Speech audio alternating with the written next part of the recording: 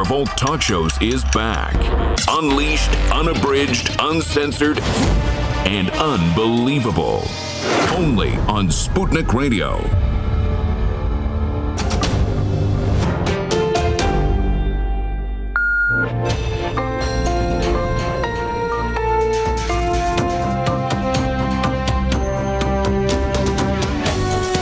You're listening to Radio Sputnik. Telling the untold. Welcome to the Open University of the Airwaves with George Galloway. Only on Sputnik Radio. Welcome to the mother of all talk shows, the Open University of the Airwaves, the College of Knowledge, where tuition is absolutely free and you are encouraged to speak back to the teacher. It's the fastest growing show on the planet. I mean that, on the planet. And I'll explain why in a minute or two. The Donkey Derby, otherwise known as the Labour leadership election race, is underway, or at least the candidates, the runners and riders, are gathering at the post. Donald Trump has been impeached. Has anyone noticed any difference? Will it make any difference? And as Syria looks forward, if that's the word, to another Christmas where the infestation of jihadist extremism continues to linger in one far corner of their country, we talk to a legendary Syrian girl. All of it eh, with the backdrop of a new Boris Johnson government. Brexit coming up fast on the 31st of January. And it didn't take Boris long to break his first promises, did it? Who would have thunk it? Now, this is radio with a difference. It's radio with pictures. So tune in, sit back, fasten your seatbelts. It's going to be a roller coaster ride.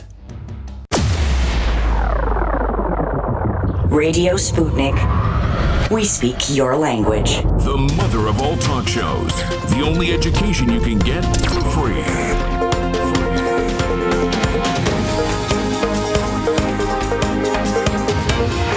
George Galloway. This is Radio Sputnik.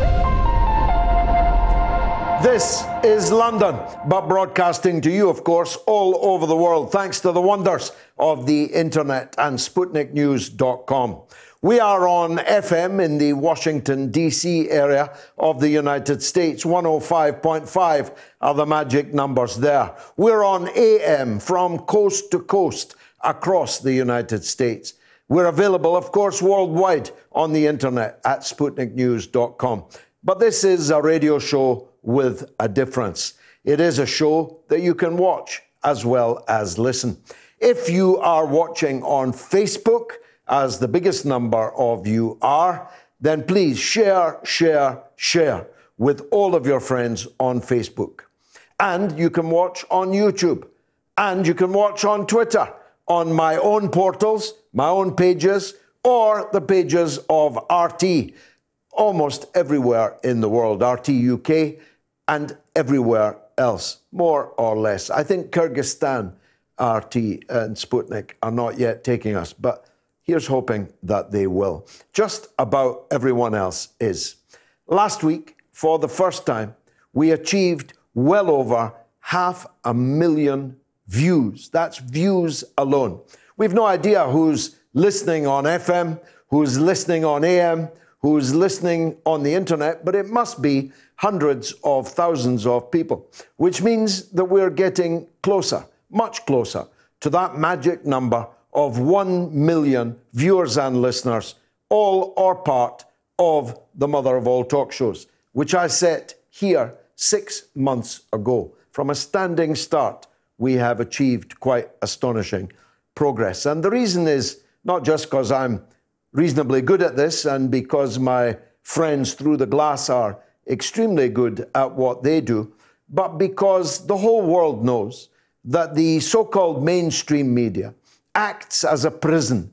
I was going to say prism, but I mean prison, locking out ideas that don't fit into the prevailing orthodoxy, locking in the practitioners of politics within the confines of that narrow dictatorship of the prevailing orthodoxy. And we don't. We have broken away from all that. We have kicked the jail down. We're free, free to air and free to speak. And for that, we must thank RT and Sputnik for giving us this splendid platform. It was an idea that's time had come. Now, many ideas come and go. Sometimes they go up like a rocket and come down like a burnt stick. Is that the fate of Corbynism? That's one of the themes of what we'll be talking about this evening.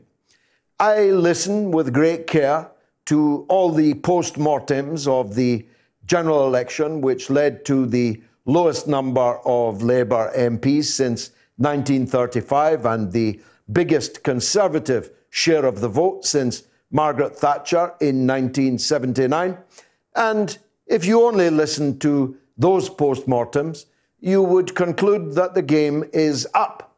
But it's very far from up. We have to accentuate some important points. First of all, Boris Johnson lifted the Conservative share of the vote by 1%, precisely 1%. Jeremy Corbyn lost a lot of parliamentary seats, but actually, Jeremy Corbyn's vote just a week or so ago was higher than Tony Blair's last vote in his last winning general election, higher than his successor, Gordon Brown's vote, higher than his successor, Ed Miliband's vote. So, whilst the seat haul is disappointing to say the least to Mr. Corbyn, the vote is actually better than Blair, Brown, and Miliband achieved in the three general elections before Jeremy Corbyn took over. Secondly, there is absolutely no case at all for arguing that it was Corbyn and Labour's socialist politics that led to the result that was so disappointing to all of Mr. Corbyn's supporters because Corbyn, in the previous election, just two years before, had put forward virtually identical left of centre politics not as left as was painted, not as left as Michael Foot, for starters, in 1983, but a left wing programme at the election in 2017 got the best Labour result, the biggest lift in the share of the vote since Clement Attlee in 1945. And the manifesto in 2019, whilst far too long and with far too many goodies in it, gimmicks in it, such that it was no longer memorable before the ink had dried, was no more left wing than the one previously in 2017. So the idea that it was the left wing politics what done it simply doesn't fly, in my opinion. It was Brexit what done it. It was the gigantic, portentous Labour U turn on Brexit that cost Jeremy Corbyn the election. That much is screamingly obvious to me, and indeed, I predicted it for two long years, losing many Corbynista friends along the way who seem to imagine that you're being loyal to your friend if you let them drive the wrong way down the motorway. You're being loyal to your friend if you don't grab the keys or attempt to grab the keys and turn the steering wheel back into the right direction. Well, if that's loyalty, I don't want any part of that because I'm not loyal to any individual. I'm loyal to the ideas that Jeremy Corbyn was supposed to be spearheading. And when he allowed himself to be shackled, his limbs to be broken, to be strapped to a horse like El Cid and ride out at the head of an army that was no longer his army, indeed, never was his army, namely the hundreds, 650 Labour candidates in the election. I knew that it was doomed, and it was my duty as a free thinking, free speaking man to say so. I make no apology at all about that, but neither will I allow history to be rewritten. And now I come to the Labour leadership election, or the Donkey Derby, as I have dubbed it.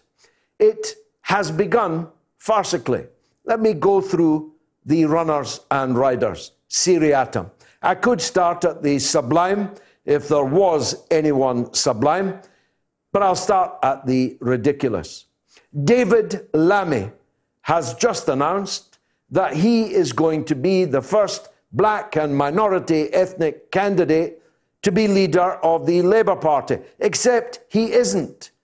Diane Abbott ran for the leadership of the Labour Party against Ed Miliband. And the last time I looked, she was from the black and minority ethnic communities.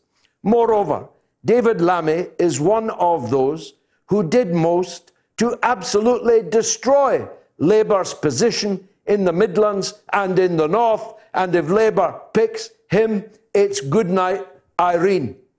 David Lammy is running on the platform of care for refugees.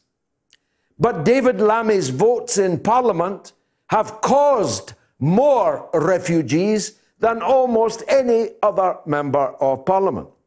He is a serial offender. He is a repetitive warmonger. He's voted for every war, proselytized for every war, and voted against any inquiries into the wars he voted and proselytized for, which caused the massive flow in refugees over which he now cries his crocodile tears.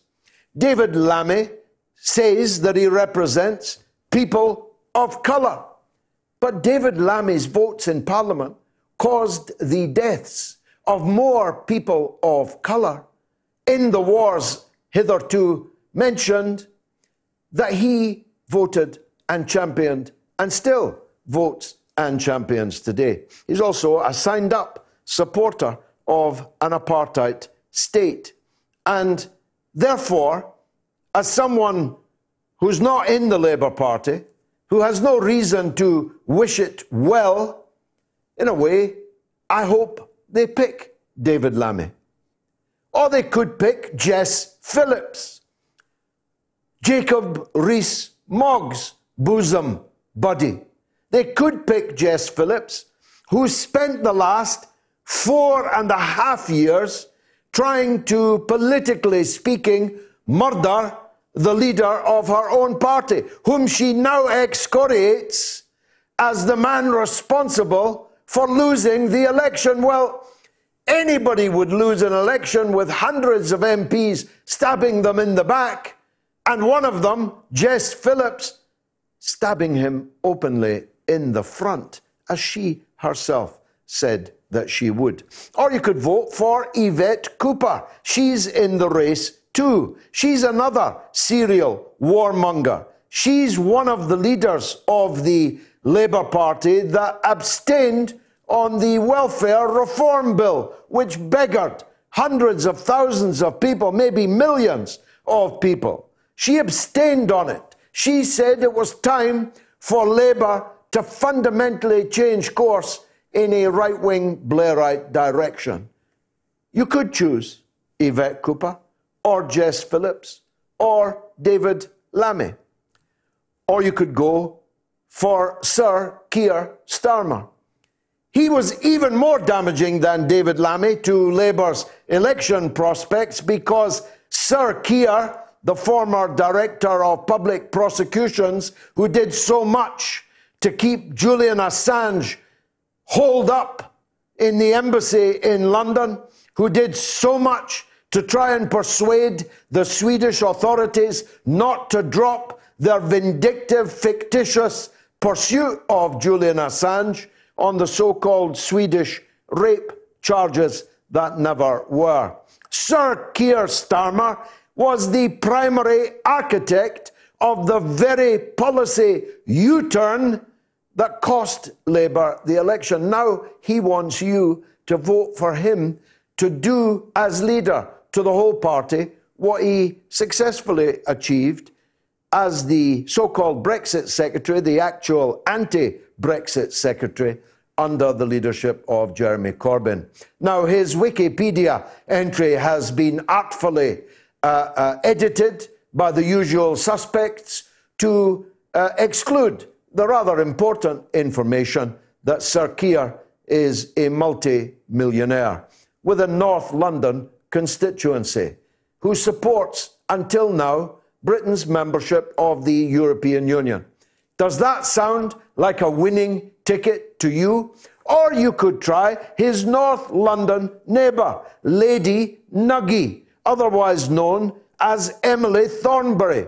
You know that mad woman that turned up at the Labour Party conference, bedecked in a blue dress with gold stars around her neck, aping the European Union flag, the woman that took a picture of an England flag in a by election a couple of years ago and had to resign from the Labour front bench, so sneeringly condescending was her comment and implication, inference about the England flag. She thinks an England flag is something to be ashamed of, and a European Union flag is something to wear around your neck, around your torso.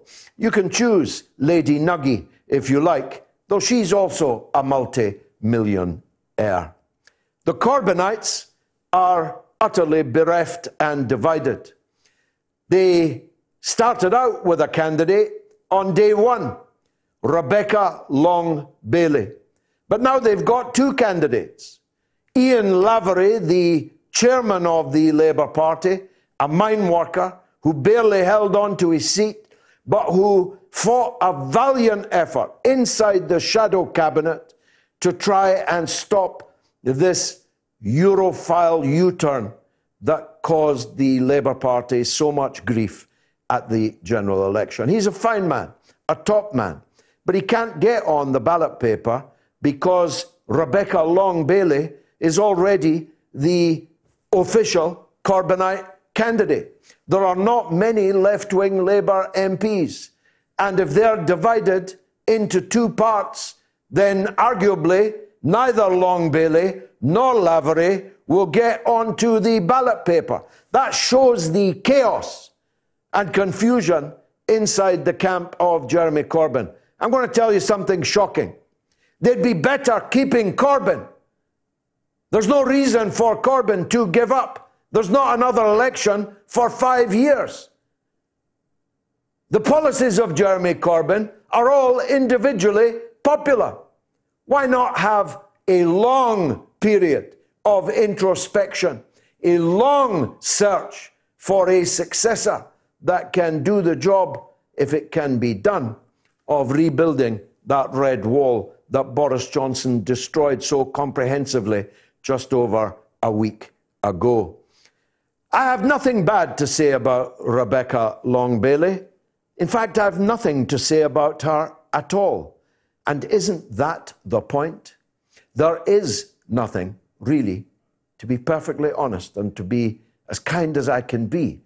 There's nothing there.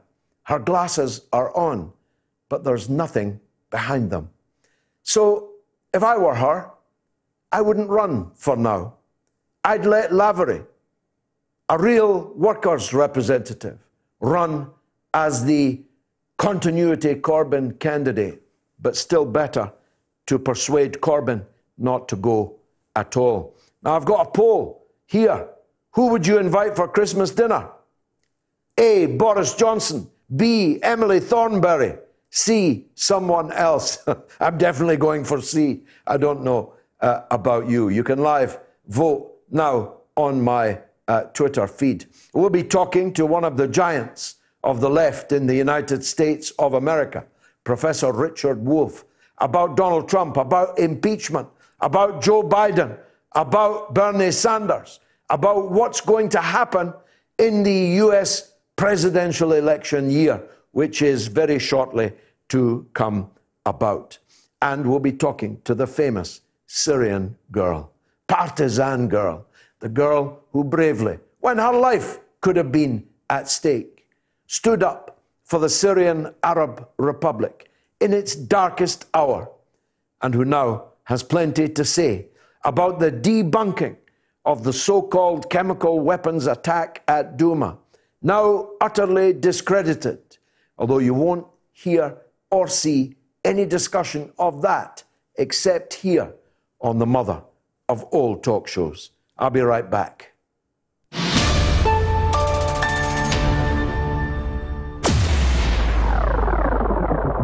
Radio Sputnik. We speak your language. Find us at SputnikNews.com. Tune in every Thursday to Loud and Clear with Brian Becker for the regular segment called Veterans for Peace, where we focus on the contemporary issues of war and peace that affect veterans, their families, the country, and the world as a whole. Veterans for Peace President Gerry Condon joins the show every Thursday. Hear about this and more every Thursday right here on Radio Sputnik. We are above all the latest developments, and we don't take any sides. Radio Sputnik, telling the untold. The mother of all talk shows with George Galloway. The world is our classroom, and you're welcome to sit in and join the seminar. Now you can call the show 02077 982 255. Let me read that again 02077 982 255. And if you're in the US, you can call 001 757 744 4480. You can also tweet us at George Galloway, at RTUK News. Don't forget to at both of us. There's also GG Moats. I think you can also tweet there at GG Moats. Now, as I've said before, I would have been proud of the stand that I myself made for the Syrian Arab Republic, whatever happened. I'm especially proud now that we have almost won the war, but the key word is almost, because killing, dying, suffering is still going on because of the remnants of the Islamist alphabet soup that remain under Western and Turkish protection in one corner of the Syrian Arab Republic. But I took the stand that I did with no threat at all to my personal well being. My first guest was not the same. She has become famous and become a hate figure, a real hate figure for all those who tried to destroy the Syrian Arab Republic. Her name is Maram Susli, though you probably know her better on social media as Syrian girl, partisan girl. Maram, welcome back to the show. Thank you so much for having me back. It's great to be here. You were a big hit the last time you were on, and of course, uh, you had your uh, critics too. Uh, but the vast majority of people found you a very refreshing breath of fresh air. So, welcome back. Now, let's start with the war, and then we'll move on to Douma. Uh, how stands the war today as we approach yet another Christmas where war is still raging, at least in part of Syria? Well, I want to thank you for saying we haven't won the war yet, although we are winning, because to say that we've won the war is to accept the status quo as it is, which is a divided Syria with Idlib province being controlled by Al Qaeda and with uh, everything east side of the Euphrates River being divided up between the US and Turkey. And we have uh, been moving, at least the Syrian army has been pushing forward in Idlib and east of the Euphrates River. So the situation will eventually change. Uh, as you know, the Syrian government said repeatedly that the goal is to liberate every inch of Syria, and I want everyone to remember that that includes the Golan Heights. Um, so we will see how long that takes. Unfortunately, the neocons in the US have sort of entrenched and found a way to still dig in and continue to occupy the Syrian oil fields, which they have now stated has been their main goal. Well, Donald Trump uh, openly stated, I like oil, he said, and he's openly stealing in what is undoubtedly a war crime. I mean, it's not prima facie, it is without any fear of contradiction a, a war crime to steal oil from a country in which you have no business and which you are militarily occupying is clearly a war crime. What's the situation in the rest of the country? Are these throat cutters still at large as a terrorist menace, or is peace and quiet the norm in the rest of Syria? Well, other than Idlib, it's actually been a, quite an improvement for the rest of Syria. Security is a lot better than it was a couple of years ago, and you know people are beginning to pick up and try to rebuild and uh, you know put their lives back together. Of course, unfortunately, because of the U.S. occupation of the oil fields and the economic sanctions, this has been slowed down. And the reason is they don't even want to make money off that oil. They just want to prolong Syria's suffering in, to, for Israel's sake at the end of the day. Are the refugees coming back? Um, from Lebanon, especially, the refugees are coming back. Uh, in Europe, some of the governments of Europe are actually blocking Syrians from trying to return to, oh. to Syria, so which is interesting. Who would have thought it? Uh, the, there's an amnesty, isn't there? Everyone is welcome to come back.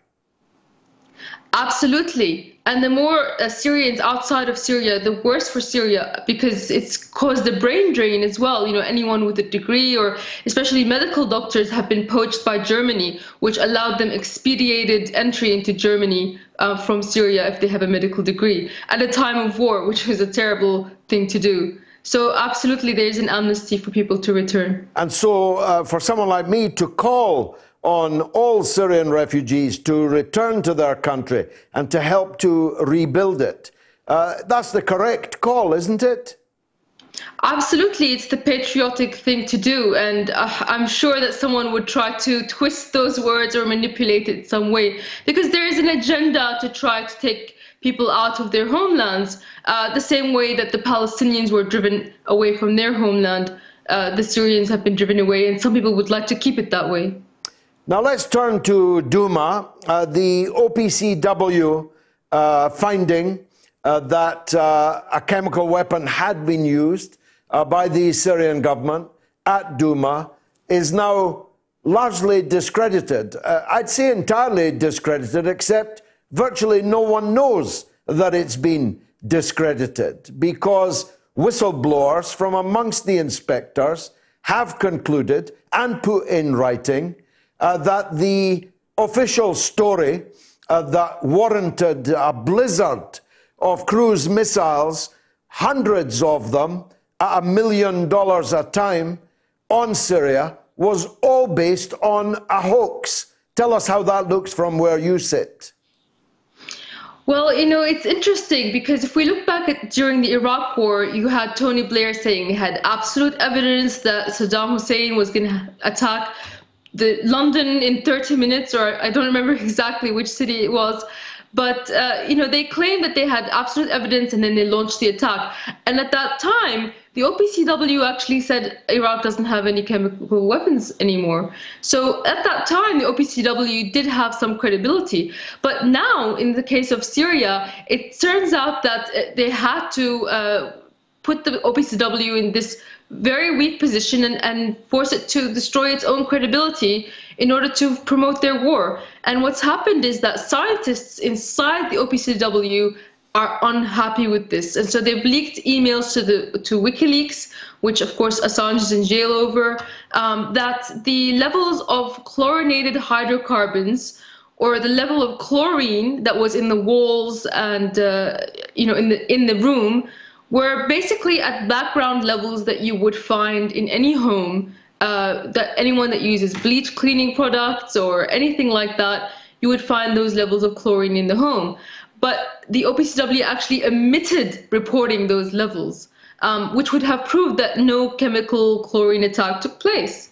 And of course, this comes with many other leaks that have happened over the last few months. I mean, in May, there was another leak by a OPCW engineer that said that the gas cylinder, which was found on the bed, would have had to have been manually placed there. He was um, British. Um, that was the British engineer. He said this, this uh, uh, weapon was neither dropped from the sky nor fired from a projectile. It had been lain on its side where it was. Which, if you saw the picture, it would make absolute sense because there's glassware all over the room that hasn't been destroyed or affected at all, and there's just this cylinder lying on a bed with, you know, how did it get there? So um, now that apparently there's 20 OPCW whistleblowers that have said that they're not happy with the final report that tried to, uh, you know, kind of claim or the final reporting on the report that it was a chlorine gas attack that came from the air and actually deleted those engineering reports that said that the gas cylinder was placed on the bed. And uh, this led to this led us closer to world war uh, than we've been since the Cuban Missile Crisis uh, in the 1960s, because um, Syria's allies, uh, Russia in particular, nuclear armed, multiply nuclear armed, uh, were there in situ in the very places where Britain and France and the United States in particular were hurling Tomahawk uh, cruise missiles, all based on fake news. Absolutely. It's uh, the first time that the US and Russia have been in the same theater of war, and they have not been on the same side of it, unlike World War II. So, um, you know, there was other things. The medical signs of the victims, none of them, none of the symptoms or the signs that they found showed that they died of chlorine gas. They must have died of something else. And the question is, how did they die? Who killed them and for, to what end? And you had uh, journalists like Jonathan Steele, which is just a mainstream British journalist, as far as I know, for the Daily Mail, spoke to one of the OPCW whistleblowers, and he showed him documents that US officials were pressuring the OPCW to find evidence of a chlorine gas attack and blame the Syrian government for it. Well, uh, there's uh, every reason to speculate that Western governments were not just covering up the truth about the Douma incident, but were actively engaged in creating it. Uh, in the run up to it, we were repeatedly told uh, by Western officials uh, that such an attack was imminent, even though it made absolutely no military sense, still less political sense, for the uh, Syrian government to do it. So there's every reason to suspect that this was a deliberate false flag attack. Indeed, the Syrian government was uh, within days of taking over the entire uh, area of Ghouta, and that's why the OPCW was even able to get in because Al Qaeda left the area and, uh, a few days later. Um, this is all reminiscent, of course, of the Iraq War dos- dodgy dossier. You know, the, the, the WMDs that were never found. Uh, basically, they have a script and they're just following that same script, and they have now you, you know, over this, the OPCW has lost all credibility. But the frightening thing is, in a few days' time, the OPCW will have the ability to attribute blame, whereas they hadn't before. So uh, this is, I think, an attempt to try to get Syria under a Chapter 7 UN Security Council resolution, the same way that they did Iraq, and try to claim that, oh, they never got rid of chemical weapons. That's, that's the playbook that they play by. And of course, they have people like Eliot Higgins, which is a man they found in the UK who sells underwear, and, and they made him into um, their spokesperson who attacks engineers like Theodore Postol or attacks anyone who tries to bring out the truth about not just this chemical attack, but all the chemical attacks that have happened in Syria. Because from the very beginning, uh, we have been lied to, and the first chemical attack that happened in Syria was actually against the Syrian government and Syrian soldiers. So a Syrian government held area and Syrian soldiers were killed. That was the very first chemical attack. And that is why the Syrian government requested for the OPCW to enter Syria to investigate that attack. And on the day of their arrival was the chemical attack in Damascus that everybody heard about, which resulted in Syria giving up its chemical weapons. Now, you, you mentioned uh, Ghouta, uh, which brings back uh, memories uh, of me, uh, of, for me, of, uh, of Mother Agnes Mariam, whose archdiocese that was.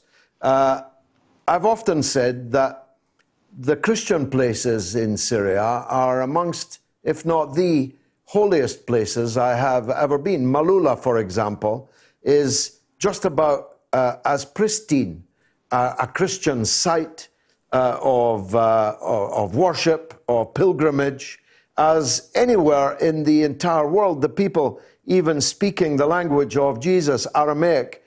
Tell us something about how the Christian people in Syria, as we're coming up to Christmas, how the Christian people, how close they came to falling under the knives of these head chopping, throat cutting jihadists. Unfortunately, some of them did, um, especially in cities like Kasab uh, in the north uh, west of Syria, which was completely overrun by Al Qaeda. And of course, Al Qaeda even kidnapped nuns in Maaloula and in uh, which is another uh, very old Christian city uh, in Syria.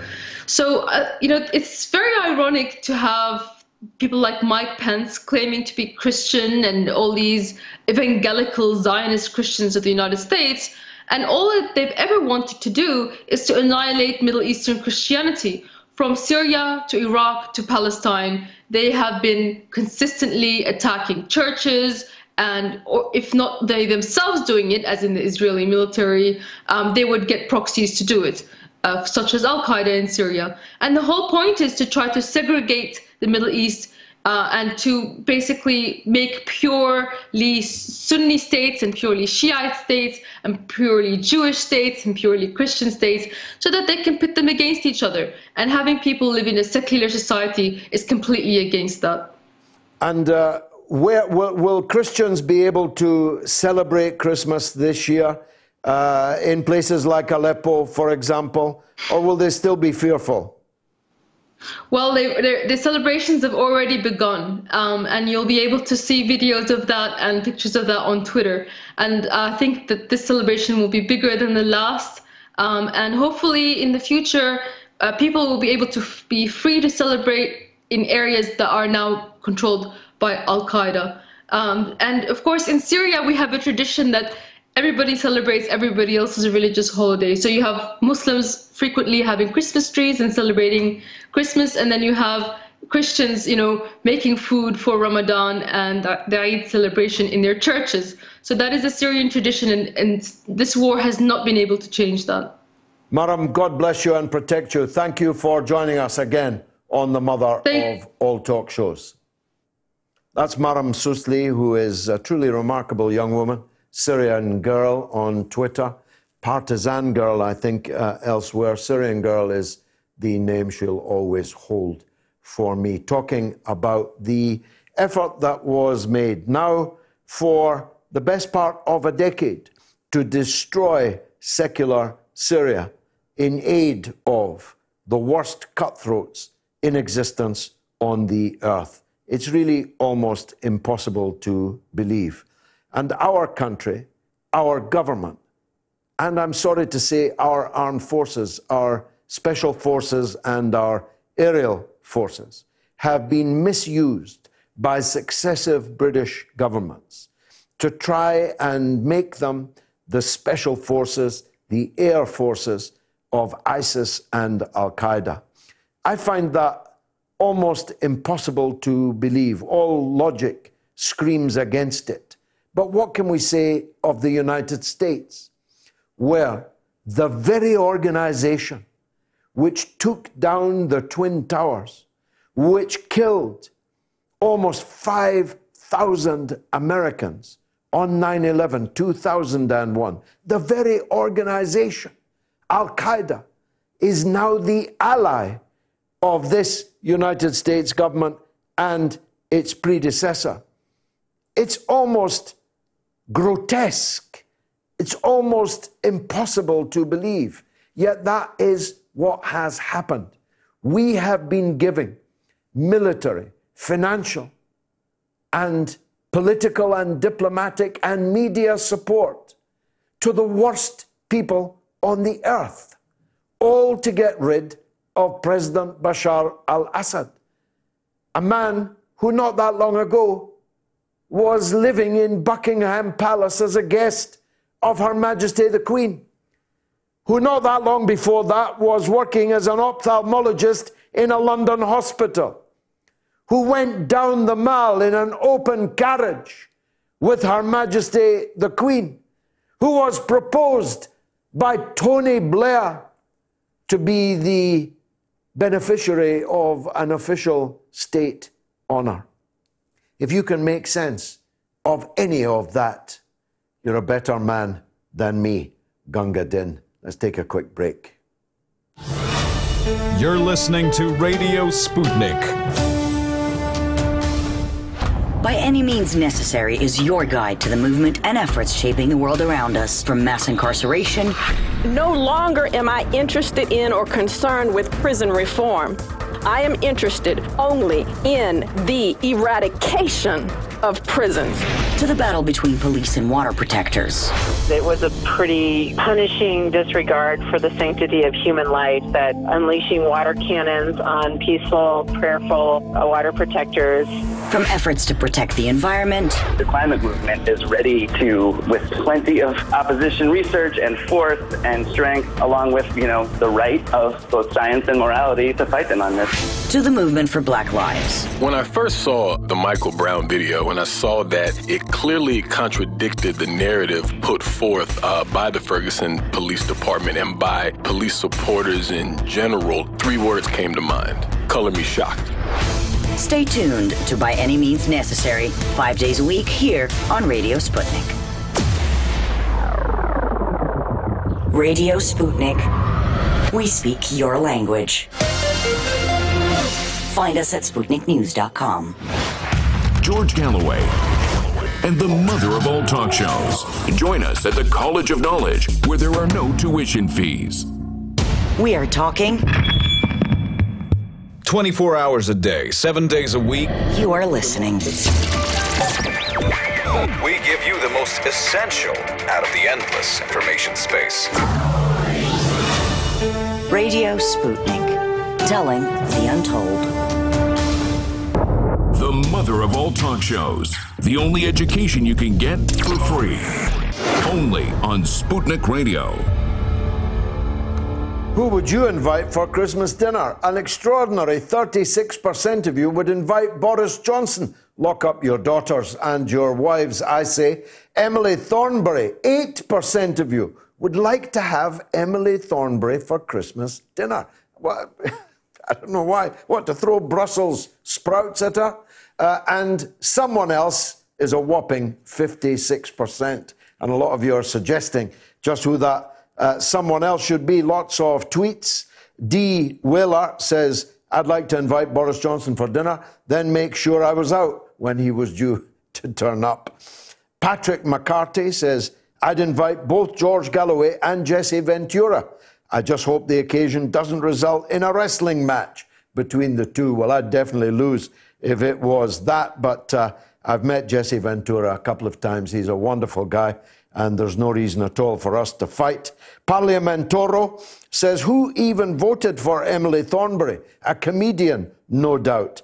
And Gregory Wonderwheel says, Jeremy Corbyn. So I could ask him, Jeremy, what in the world were you thinking of? Compromising with the Blairites on a Remain referendum.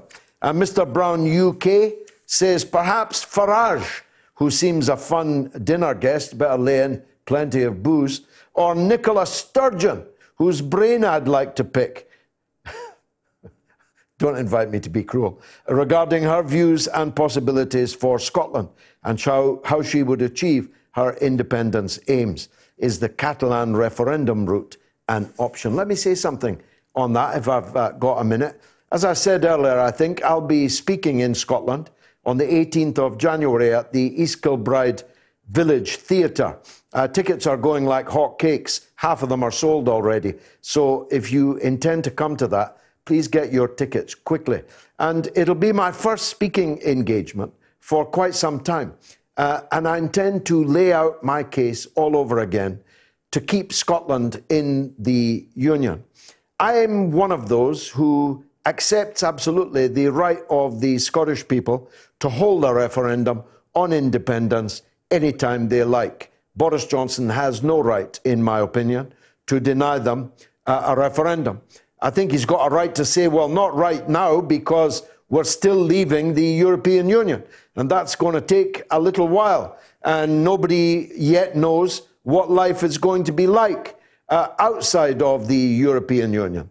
Uh, but he can't deny it indefinitely. So I support uh, an IndyRef 2.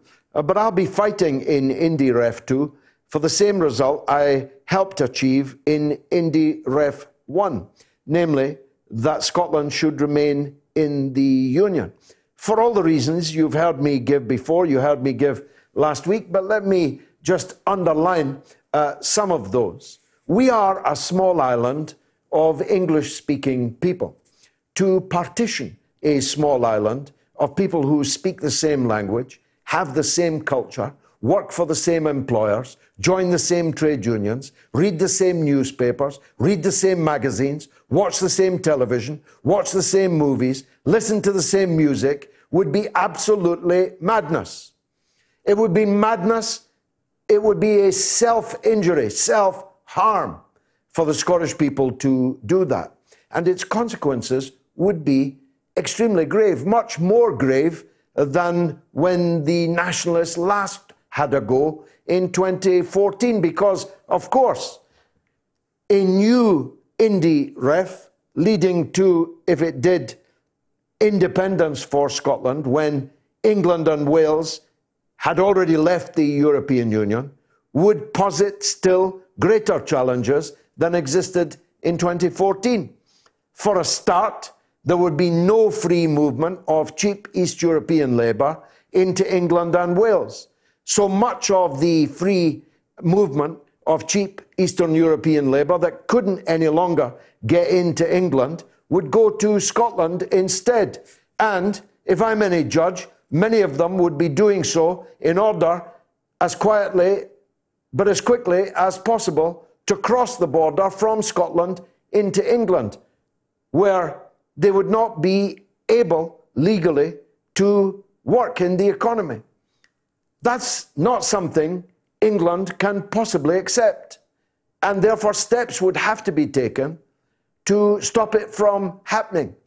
Now, the border between Scotland and England is 100 miles long, and don't get me started on the coast, on the sea around both countries, which is many thousands of miles of coastline in England and Scotland. But 100 miles is a land border. That land border would have to become a hard border. Think about it.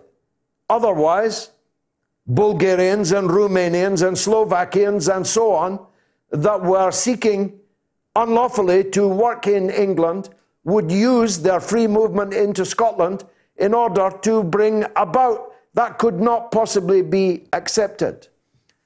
Moreover, the Scotland I was born in and grew up in is not likely to welcome a huge increase in Eastern European people coming under the free movement rules uh, from Eastern Europe into Scotland. It's oftentimes claimed on here and on social media that Scotland is some kind of cold water Cuba, but it is not. The annual survey of British social attitudes shows that attitudes to immigration in Scotland are identical to attitudes to immigration in England. Identical. So anyone who has the idea that a red carpet will be rolled out by the Scots for all those Eastern Europeans who can no longer get into England and are going to come to Scotland instead is fooling themselves. That's not what the result of that free movement would be. Moreover, if Scotland then applied as an independent country to join the European Union, let's leave aside any question of a Spanish veto, a very real question because of the Catalonian question, in which the SNP have been deeply, heavily involved in fomenting Catalan separatism in Spain. And it only takes one European country to object and that's a veto on Scotland's membership of the European Union. But park that for a moment. If Scotland joins the European Union, it will either have to join the euro, which by rule it would have to do, or if some dispensation were made because Scotland could not possibly qualify to join the euro because it could not possibly satisfy the fiscal rules of the uh, euro because of its huge deficit and because of its heavy reliance on public expenditure as opposed to private enterprise, Scotland would have to invent its own currency. Who would underwrite such a currency? I don't know anyone who would. And it will be up to Nicola Sturgeon to identify who would underwrite such a currency.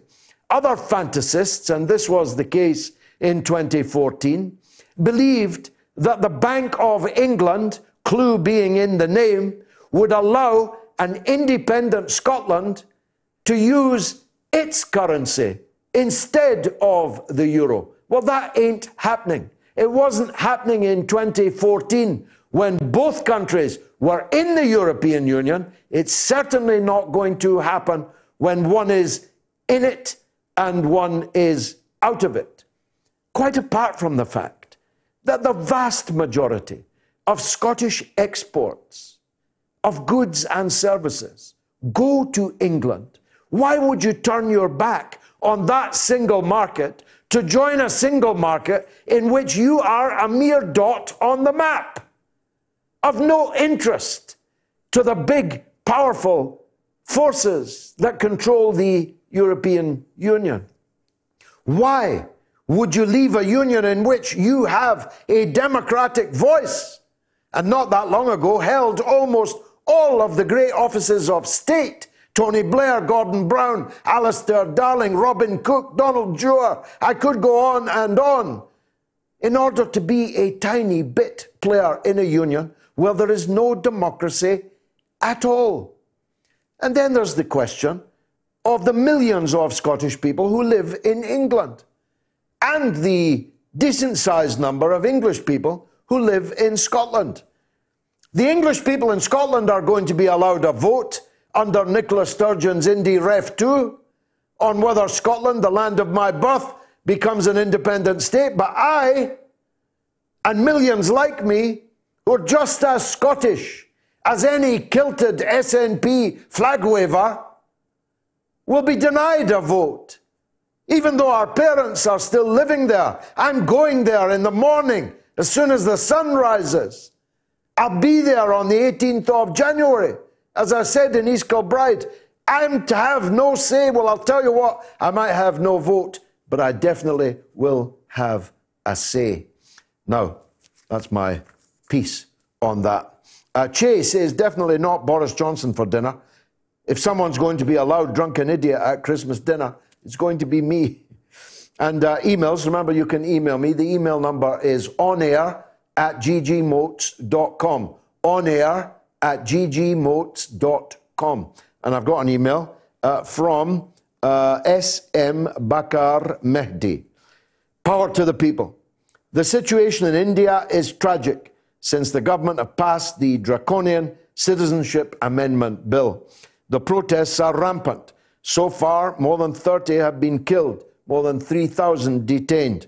The government is confiscating the property of the protesters. They are really acting in a fascist manner. Your attention is really needed, Mr. Galloway. Please respond. Well, I flew all the way to Karachi just a few weeks ago to give a speech, which is on YouTube, on precisely this subject. And I predicted before the uprising here that you refer to began that uh, Prime Minister Modi was going to lead to the destruction of India. He was going to lead to its breakup, his suppression of the Sikh people, his suppression of the people of Kashmir, of the people of Assam, his suppression of the rights of 200 million Muslims in India was all adding uh, to the combustible material that was going to explode, going to blow up in the face uh, of all decent Indians. And I'm not someone who wishes India ill. Far from it. I don't want to see India shattered and broken up into pieces. But the policy of repression of all minorities by Modi and the increasingly fascistic movement that he leads and personifies is going to lead to the breaking up of India and much blood besides. 39% of you want Boris Johnson for Christmas dinner. That's up four. Emily Thornberry's at six, down two, and someone else down one at 55%. The poll closes at 9 p.m. 1,540 people have voted so far. You can vote on my, um, my uh, Twitter uh, account at George Galloway. Now, in the uh, second hour, we'll be talking to Dr. Richard Wolff, with whom I shared a platform in New York City uh, some years ago, some 10 years ago. After which, my friend Ron Mackay and I stayed at the Trump Towers. Yeah, that's right. They booked us into Trump Towers by Central Park. We were filled with dread because even then, Donald Trump had a reputation as a gigantic bouffant barbarian. But actually, the hotel was surprisingly classy and nice. So I always associate uh, Richard Wolff with Donald Trump, uh, which is quite handy because that's what I'm going to be talking to Professor Wolff about this evening. Because Donald Trump has been impeached, or has he? That's the first question. Why did Nancy Pelosi not send the impeachment articles to the Senate and ask them to begin the trial of Donald J. Trump? What's going on on the Potomac? What's going on in the great battle that is now underway to choose a Democratic Party opponent for Donald Trump if Donald Trump successfully rides out this impeachment furore? What about Joe Biden? Surely the most waxen, ancient, leaking, teeth flying out across the studio floor candidate ever to be fielded for a US national presidency. What about Bernie Sanders, who's a year older than Joe Biden, but has, as far as I know, never shot his teeth out over a studio floor? His eyes have never bled live on television. He doesn't have a son working in the Ukraine and coining millions and millions of pounds trading on his father's name. Bernie Sanders has been on the right side of history on every matter since the 1960s. Bernie Sanders is a giant and Joe Biden is a waxwork. Yet Joe Biden remains the favorite for the Democratic Party nomination. I'll be talking uh, to Dr. Richard Wolff, who is professor of economics and author of Understanding Socialism. He's the host of Economic Update and co founder of democracyatwork.info.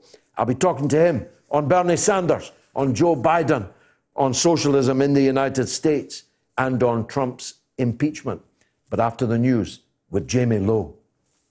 Curious about our curriculum? Have something to say? Then call us now to join the debate on the mother of all talk shows with George Galloway. This is Dominic Carter, a political reporter in New York for Verizon Fios TV News. This is Dr. Bill Honigman of Progressive Democrats of America, PDAmerica.org. Hey everybody, my name is Tim Black of the Tim Black Show. This is Tom Luongo of Gold Goats and Guns. Hello, this is Benny Johnson. Hi, this is Juanita Broaddrick, author of You'd Better Put Some Ice on That. This is Jamal Thomas from the Progressive Soapbox. Hey, this is Raheem from DC.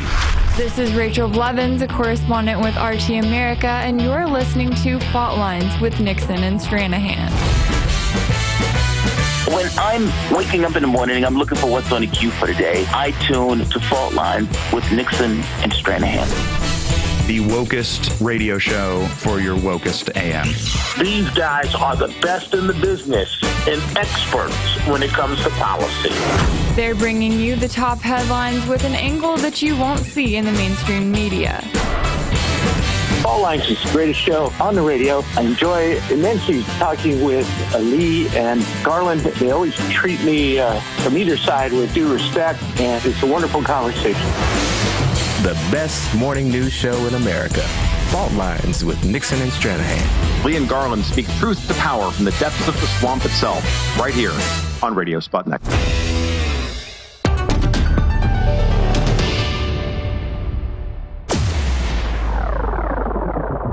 Radio Sputnik. We speak your language. Find us at SputnikNews.com.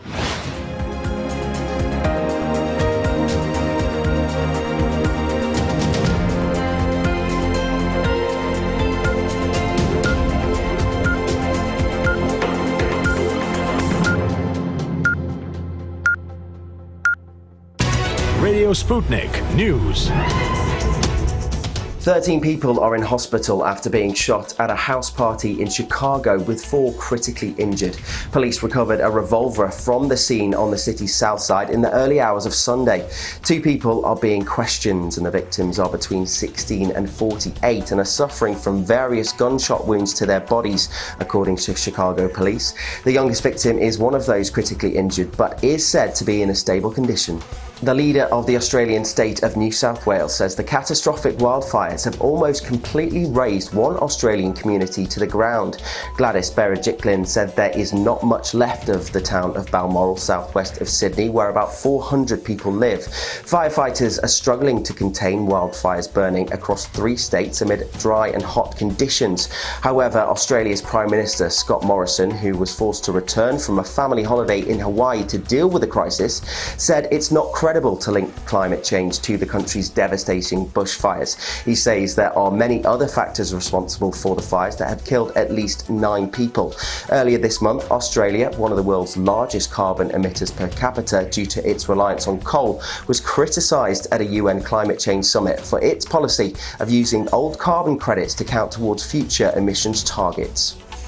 Media reports in Britain are claiming that UK Prime Minister Boris Johnson is reluctant to visit the United States because of the impeachment of US President Donald Trump. During a congratulatory telephone call, Trump invited Johnson to visit the US to celebrate his recent general election win. Trump told Johnson he and girlfriend Carrie Symonds could go wherever they wanted in the US. Downing Street sources say that Trump also invited Johnson to the White House, although formal discussions on the protocols for the visit are yet to be held.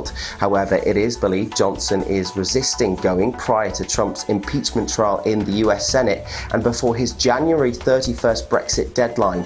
According to sources, Johnson is widely expected to name Michael Gove as his new trade supremo responsible for talks. Neither Johnson nor Trump have commented on the reports.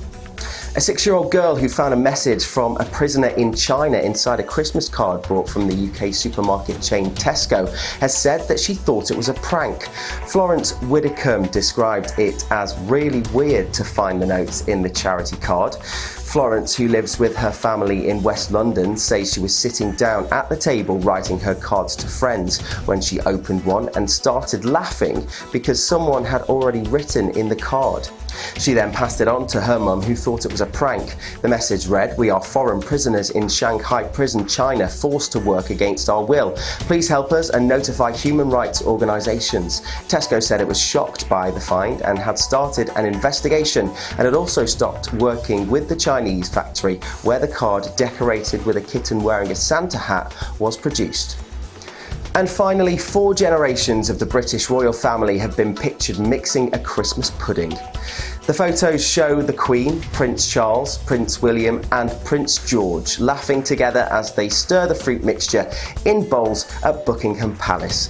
The Christmas tree behind them is decorated with regal decorations and baubles, including crowns, a corgi, a throne, and a soldier in what appears to be a Scottish kilt. The cooking sessions were filmed, and clips will be included in the Queen's annual Christmas message, which is broadcast in the afternoon of Christmas Day. Missing from the picture is the Queen's husband, 98 year old Prince Philip, who was admitted to hospital on Friday for treatment to what was described as a pre existing medical condition. Well, that's the news here on Sputnik. I'm Jamie Lowe.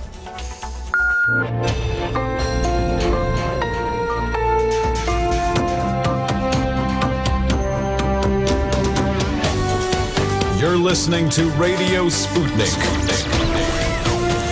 Telling the untold. Welcome to the Open University of the Airwaves with George Galloway. Only on Sputnik Radio. The number to call is 02077 982 252. That's 02077 982 255. Or from the US, 001 757 744 4480. You can tweet me at George Galloway at RTUK News. Don't forget to at uh, both of us. You can also email me at onair at ggmoats. Now, as I said uh, earlier, um, Professor Richard Wolff is quite possibly the, the greatest socialist in America. And I'm inferring, though I don't know it, uh, that his preferred candidate for the Democratic Party nomination would be another man who ran and was elected to office for many years in the United States as a socialist. Not quite the socialist that I would say I was, or I don't even think as Richard Wolff is. But Dr. Wolff may be as excited as me at the possibility of a President Bernie Sanders. I don't know either what his point of view on the impeachment farce in the House of Representatives last week is. But mine is that it is a farce, that it's going to strengthen Donald Trump rather than weaken him. So let's delay no longer. On the Skype now, I hope, is Dr. Richard Wolff. Dr. Wolff, welcome. Thank you very much, George. I'm glad to uh, do this with you. I uh, don't know if you recall, but 10 years ago, we shared a platform in New York, uh, after which I found I was booked in by the organizers to Trump Towers, which was surprisingly nice and not nearly as vulgar as I expected it to be. So when I hear your name, I always associate you uh, with Donald Trump. So let's start with him. Uh, it's my view that the Democrats have made a major strategic error in this whole Ukraine gate business and the impeachment, that they have helped, not hindered, Donald Trump. Where do you stand on that? Well, I think you're probably right. Time will tell. Uh, the sad thing for us, those of us on the left here in the United States, or at least a good number of us, is that the Democratic Party, and unfortunately most of it, uh, not just the centrists of the Clinton type and so on, uh, they are lost uh, in the reality of the Trump victory. They didn't figure out what it was about. They cannot admit uh, their own failings, so they have to find scapegoats. Uh, for the first half of his term, the scapegoat was Russian intervention. Uh, when that petered out and they could not get very far with that, they commenced this um, impeachment game uh, that's how it appears to most Americans, even those who don't like Trump, that this is one more effort to, uh, instead of Russia, now the bad one is Ukraine. Uh, this amazing interest in looking for scapegoats so that the Democratic Party does not have to confront the structural uh, situation of a capitalism that is declining and that is hurting large numbers of people as it shifts the burden of its decline onto the mass of people, which, in all due respect, uh, ought to be familiar, I think, to a British audience since they've been going through that process even longer than we have here in the United States. Yes, quite so. Uh, help us with the technicalities. As I understand it, Nancy Pelosi was required to deliver the articles of impeachment promptly to the Senate so they could begin the trial of Donald Trump. But the last time I looked, that hasn't happened. What's that all about? Uh, the, the, problem is a, a legal ambiguity. It is not crystal clear, it's nowhere spelled out uh, exactly what either promptly or appropriately or any of the other words uh, means. Is it two days? Is it two weeks? Is it two months? What is going on.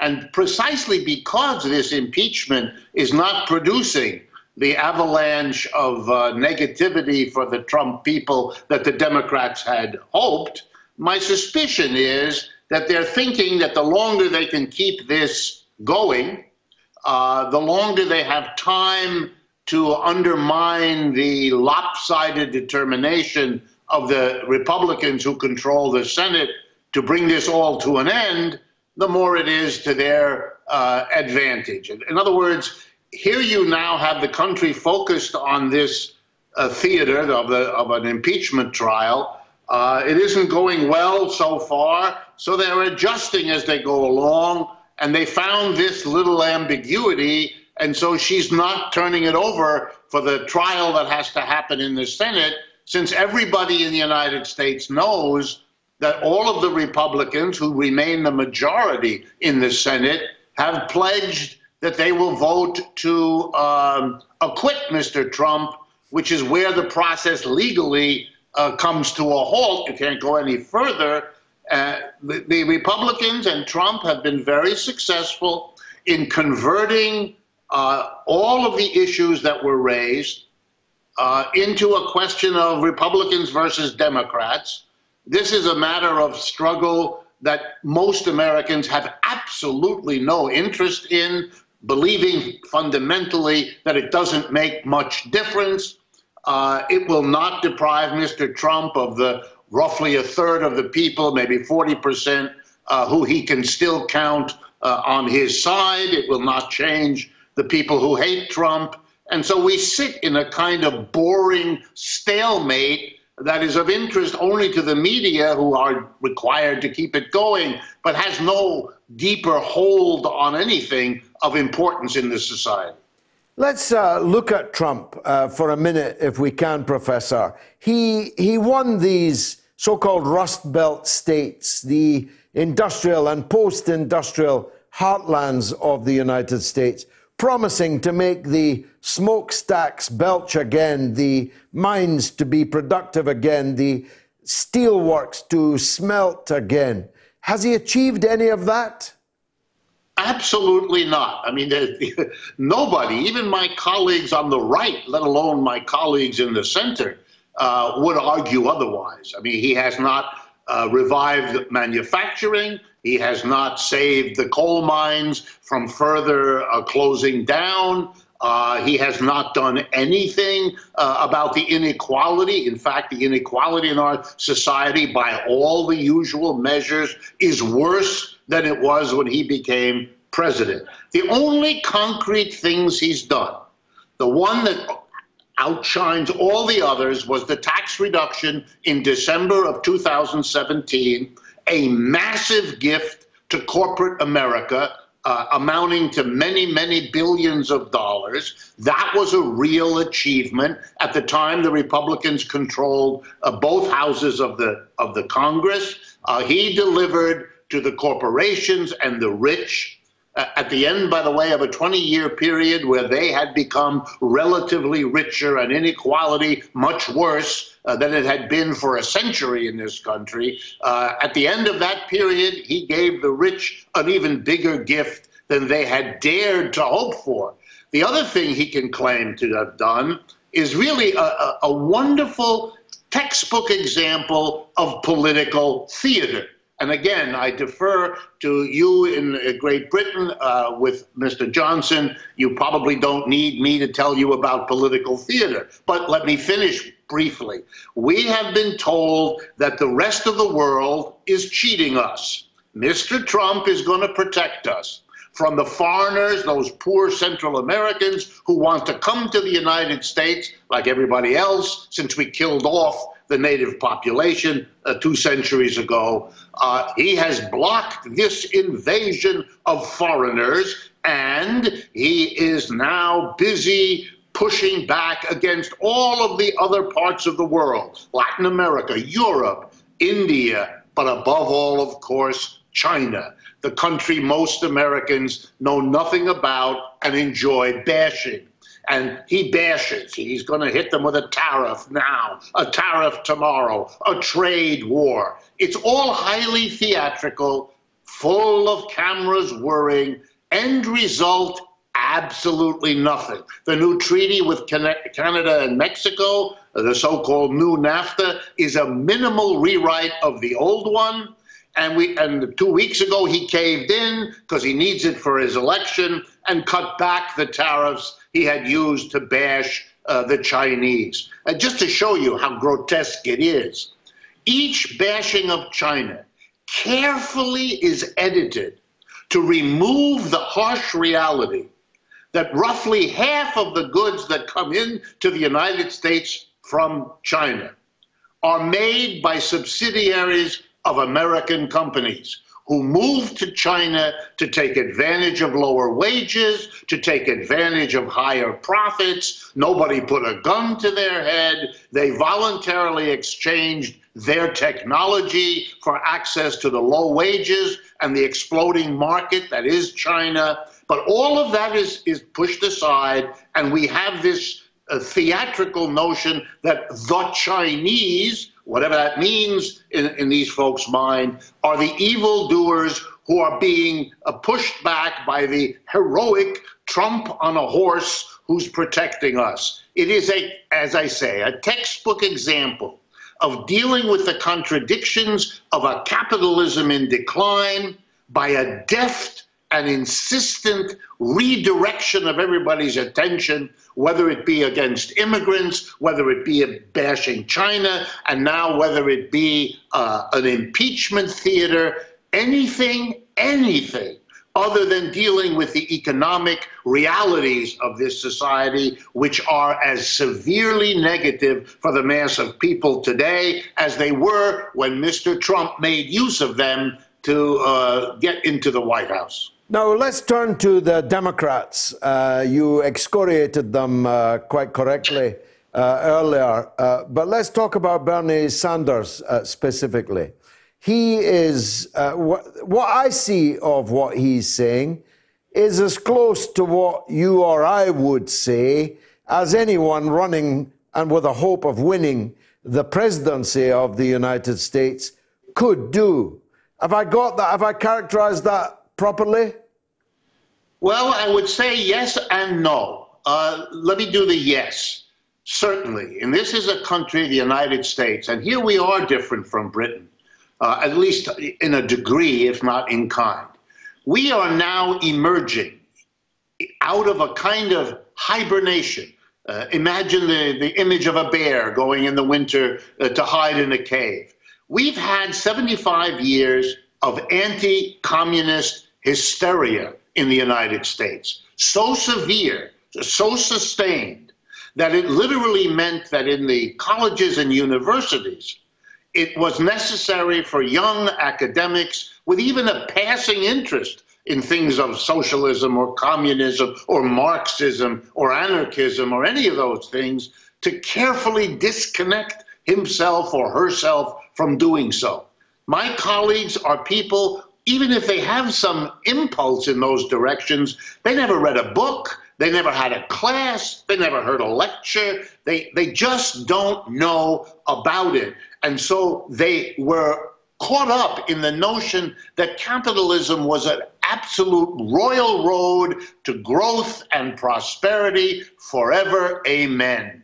When all of that collapsed in the crash of 2008, a process was unleashed that is carrying Bernie Sanders, myself, and people like us like leaves in, an, in, in, a torrent of a flooded river. Suddenly, everybody's catching up. Suddenly, capitalism isn't such a wonderful thing. Suddenly, being critical of capitalism is just this side of chic. And socialism is returning, and Marxism are returning. It's kind of a heady moment for folks like us me, who've been teaching that stuff for a while, etc. Nonetheless, it is amazing to watch. Nonetheless, I have to be uh, fair and honest. It's still a minority position. It's just enormously greater than it was five or ten years ago, kind of astonishingly. But the mass of people are still under the pressure of the Fox News people on one end, but even the establishment, which remains anti communist down to the depths of its soul. So, what you have in Bernie Sanders is, and I hear, I agree with you, about as far as anyone daring uh, to take the label socialist uh, can go. And basically, what Bernie is doing should be understood as a kind of updated version of Franklin Roosevelt's New Deal, or what in Europe is generally called social democracy. He is not attacking uh, corporate America. He will. Uh, he says he will leave the corporations pretty much as they are. They will be subjected to a more progressive tax structure. There will be a more aggressive government providing uh, safety nets, welfare supports, job creation, and things like that. It is a New Deal, green or otherwise, and, and that's what he uh, is in favor of. I think, and here's where I guess I disagree a bit.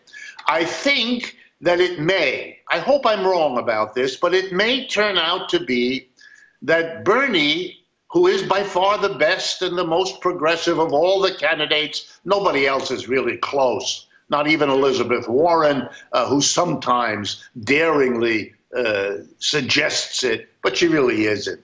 Um, my fear is that he will sh- prove to be, ironically, the most progressive and at the same time not progressive enough. In other words, he's appealing to the mass of the American working class to return to their hero of the 20th century, Roosevelt, by far the most popular, by far the most progressive.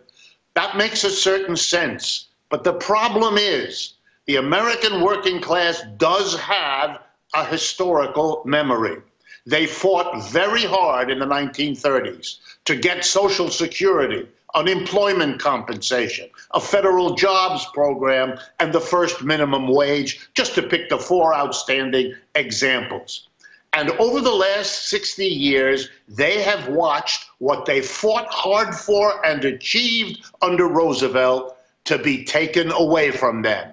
Half by the Republicans and it has to be said, half by the Democrats, which is half the reason they don't vote for Democrats. It's not that they're fooled that Trump or Republicans will be better for them. It is out of a rage and anger at the Democratic failure, not only to build on what was achieved in the 1930s, but even to protect it from being destroyed.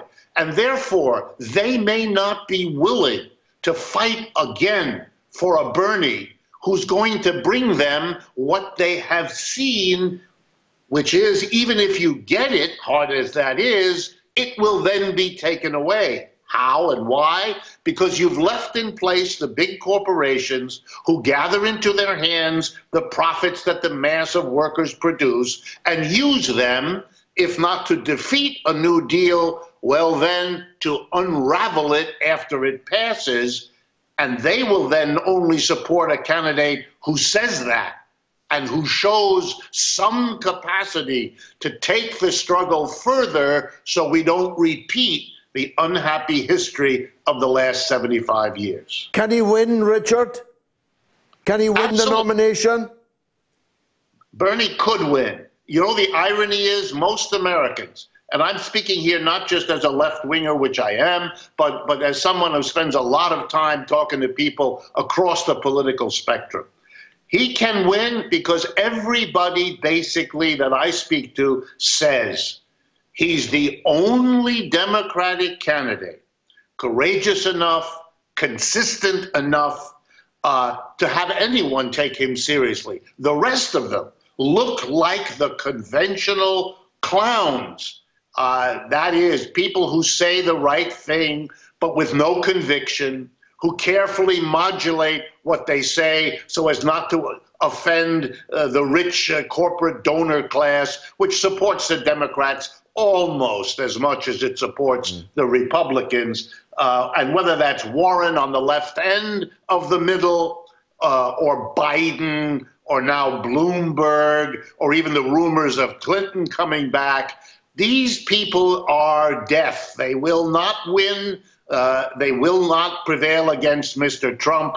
The irony is the one they don't want to win the nomination, Sanders, is the best shot to defeat Trump because if you go to the working class areas, even in the American South, the only person they ever refer to as maybe getting their votes is Mr. Trump, uh, excuse me, Mr. Sanders. And there should be no confusion about it. Mr. Trump was the extreme, and he got elected in large part because he said, I'm not like all those others. Mm. And that's not something that only Bernie can say on the left. A spellbinding uh, tour of the horizon. Thank you very much indeed, Professor, for joining us on the mother of all talk shows. Dr. Richard Wolff, I don't know about you, but I need a break to contemplate all of that. Let's uh, take a quick break.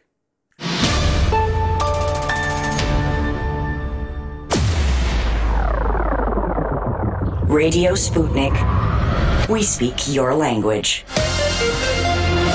Find us at SputnikNews.com.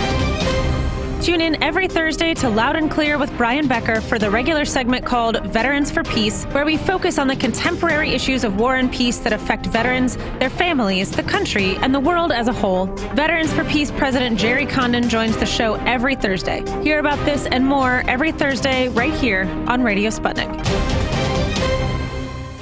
We are above all the latest developments, and we don't take any sides. Radio Sputnik telling the untold.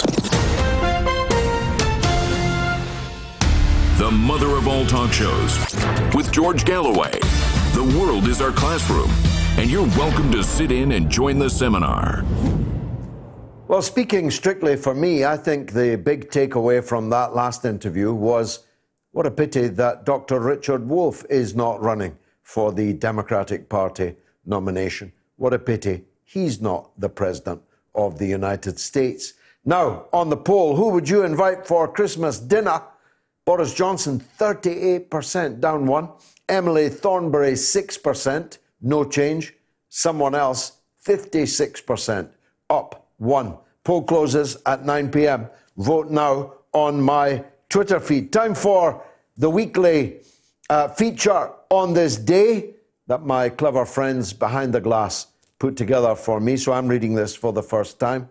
On this day in 1972, survivors of a plane crash in the Andes were found more than two months after their plane crashed into the Argentine mountains. 14 emaciated survivors were living in the wreckage of the plane. They would not have been found but for two of them walking 10 days through the mountains to alert the authorities. Four days after the discovery, a Chilean newspaper alleged that they became cannibals to warn off, ward off starvation. It turned out to be true. In 1993, a film based on the ordeal came out featuring Ethan Hawke. Hawke may be a method actor, but I doubt he gorged on human flesh in preparation. I told you this is not written by me. In 1989, after three decades, Berlin's most famous landmark, the Brandenburg Gate, reopened. The communist bloc was dissolving, and on this day, thousands of people turned out in the pelting rain to watch the West German Chancellor Helmut Kohl walk through the gate to be greeted by Hans Modrow, the East German Prime Minister. Two days later, currency controls and visa requirements were abandoned, and on Christmas Eve, more than a million people celebrated at the gate. Not so many celebrating today. On this day in 2003, Madonna, with whom I'm annually linked on the count of having the same birthday, the American singer married movie director Guy Ritchie at Skibo Castle in the Scottish Highlands. Whatever happened to that? The singer Sting turned up in a kilt. That must have been something to see. This was uh, the day. Uh, this was a day after the christening of the Ritchie's child Rocco. The couple made a film together, Swept Away, which was a massive flop. A bit like the marriage, really. The day before, on December 21st, 1988, how I remember it, a Pan Am jumbo jet was blown up over the small Scottish borders village of Lockerbie, killing all 259 people on board. Two men accused of being Libyan intelligence agents were eventually charged with planting the bomb. Abdul Basit Ali Mohammed Al Megrahi was jailed for life in January 2001 following an 84 day trial under Scottish law at Camp Zeist in Holland. His alleged accomplice, Al-Amin Khalifa Fhimah was found not guilty. Al-Megrahi was later released on compassionate grounds, suffering from terminal cancer. And on Christmas Day in 1989, deposed Romanian President Nicolae Ceausescu and his wife Elena were shot by a firing squad after a secret military tribunal found them both guilty of crimes against the state. Well, one of the uh, things that uh, goes, I suppose you could say it's the only positive of growing old, is that you remember all of these things that are being marked on this day. Just a few days after the execution of the Ceausescus, I was myself in Romania, in Bucharest, which looked like Paris and smelt like Istanbul, with my friend Bob Wylie. And we uh, jointly authored a book called Downfall The Ceausescus and the Romanian Revolution. It was published in English as well as in Romanian. It did better in Romania than it did in Britain. And though the publisher went out of business, we did manage to salvage a few copies. Uh, I think there's some still available on eBay and places like it, but not many. Um, I'm proud of the book. I read it again recently. I interviewed the co author, Bob Wylie, on the Sputnik show uh, yesterday. Uh, uh, sorry, for next Saturday. Uh, and I'm bound to say the analysis that uh, I made there in the first half of the book, which was written by me, second half written by my colleague, uh, the analysis I made in the first half of that book, I stand by. And um, it's a bit like the fall of the Berlin Wall. Not so many people celebrating uh, nowadays for all the positives that there are uh, about the life now in Romania. There are still many, many people nostalgic for the past, the certainties of the past. Uh, Chris says, I'd invite you for dinner, George. We'd have a right good debate and we wouldn't agree on everything. That's how it should be. Sam Lewis says, politics is never a good idea over a Christmas dinner. I'd pick Shane MacGowan, get drunk and sing folk songs. Andrew Torr says it would have to be Muhammad Ali, and I would have to ask him how disgusted he was at the horrific racism still happening to black Americans throughout the United States. Then we could enjoy a good dinner, as a black and white man should. Merry Christmas to all at the mother of all talk shows. Carl Shields says, For those in Scotland that want to leave the UK, this is not about money, so I don't think they'll care. What I really don't get is they want to leave the UK to get independence and then join the EU, which will take their independence away again. And Peter says, I'm enjoying the show. Happy holidays. And Tom says, the Labour leadership election will no doubt lead to the election of a modern day equivalent to Brutus. There's no choice in Labour. There's only betrayal, and within the tight grips of the Blairites within the party, there's therefore no future for Labour.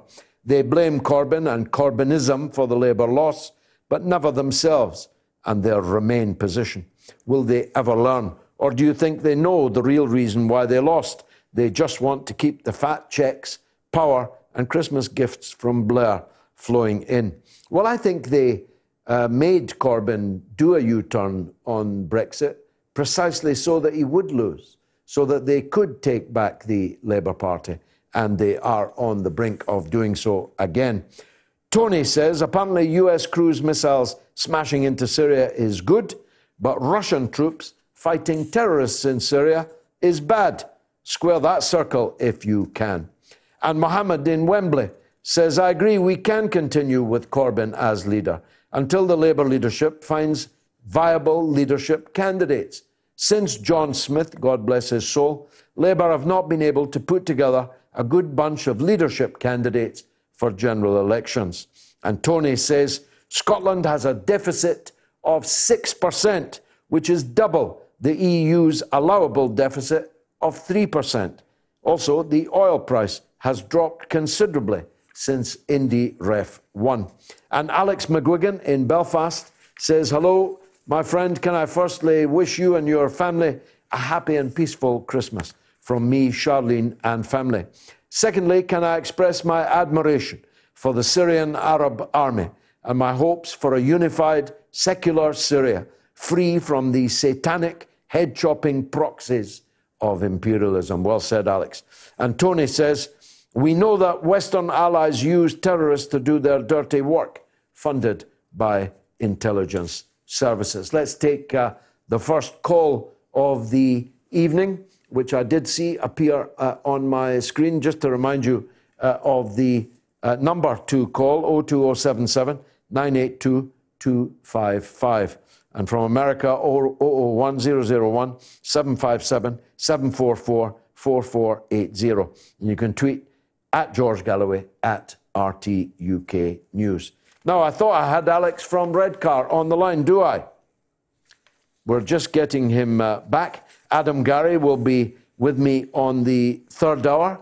Uh, so if you have any questions for him, hashtag ask Adam and uh, pile them in here, and uh, I'll make sure he gives you an answer. Walter's on the line in Blackpool. Walter, welcome. Uh, hello, George. Thanks very much for having me. Welcome. Um, but yeah, thanks so much.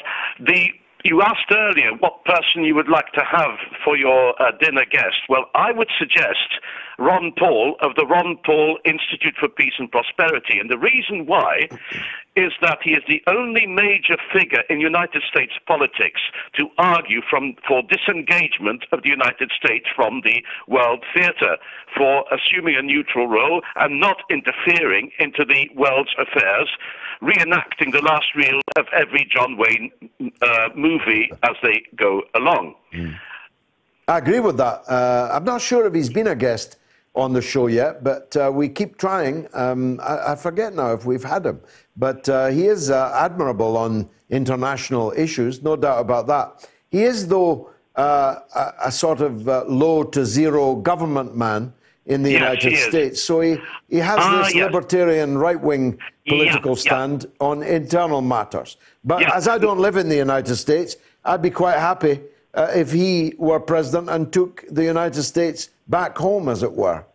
Yeah, that's an interesting point you made there, George. Now, I was listening very carefully to what uh, Dr. Richard Wolff was saying earlier. I think you have to disabuse the Americans one by one of some of the ingrained notions they have. And one of those ingrained notions is that is they have the right to play the world's policeman. Yeah. I don't think they're quite ready to go for that, and at the same time, the other ingrained notion, which is that the Americans are totally inimical to socialism. That can go. Look, once the billion, no, I would say trillions, have been saved on uh, the in- military industrial uh, complex in the United States, then I think the next stage could be well, could it be that those trillions could be better spent on social services, on uh, public enterprise, on the infrastructure, etc.? No, I think that's a brilliant call, uh, Walter. Thanks uh, for kicking us off uh, with that really exceptionally eloquent call. Let's hear from Jared in Pennsylvania. Go ahead, Jared. Uh, hello, uh, season's greetings to you, uh, George. And to you, Merry Christmas when it comes. um, getting ready for the holidays here. I want to talk about the fake news media, um, the MSN, and the propaganda campaign that is just being spewed 24 7 Yeah. from uh, the, the, the, the things like BBC or CNN or any of these other networks. Yeah. And you know, when Trump says that the media is fake news, he's not lying. He's no, very he's, much he's correct. right. He's absolutely correct. Yeah.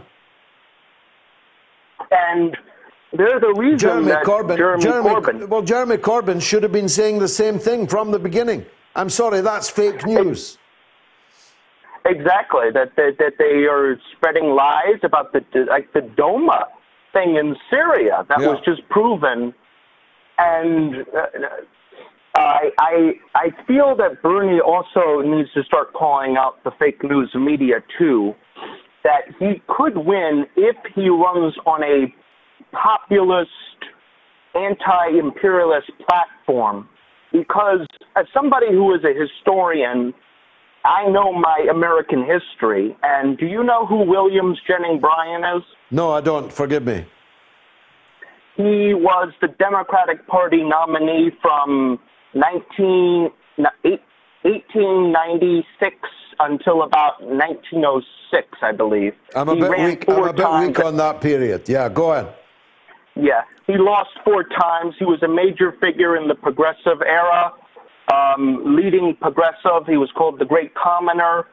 He ran on a staunchly anti-imperialist, um, pro-worker platform, but lost each time. But uh, he joined the Wilson administration, and he actually left the Wilson administration in 1915 when he protested against uh, Wilson pushing uh, warmongering after the Lusitania, claiming that while he condemned uh, uh, German U-boat attacks on merchant vessels, he also wanted to condemn the British blockade of Germany, leading to uh, great famine after the war. And he took over the Democratic Party and changed it. Uh, it was originally a very backwards party, but after he took it over, and Bernie could do the same. He, he could change the entire party. Do you think he, like, do, uh, you- Jeremy- do, do you think he's going to uh, win the nomination, Jared, or are they going to cheat him again? I think he could do it. I seriously do believe it.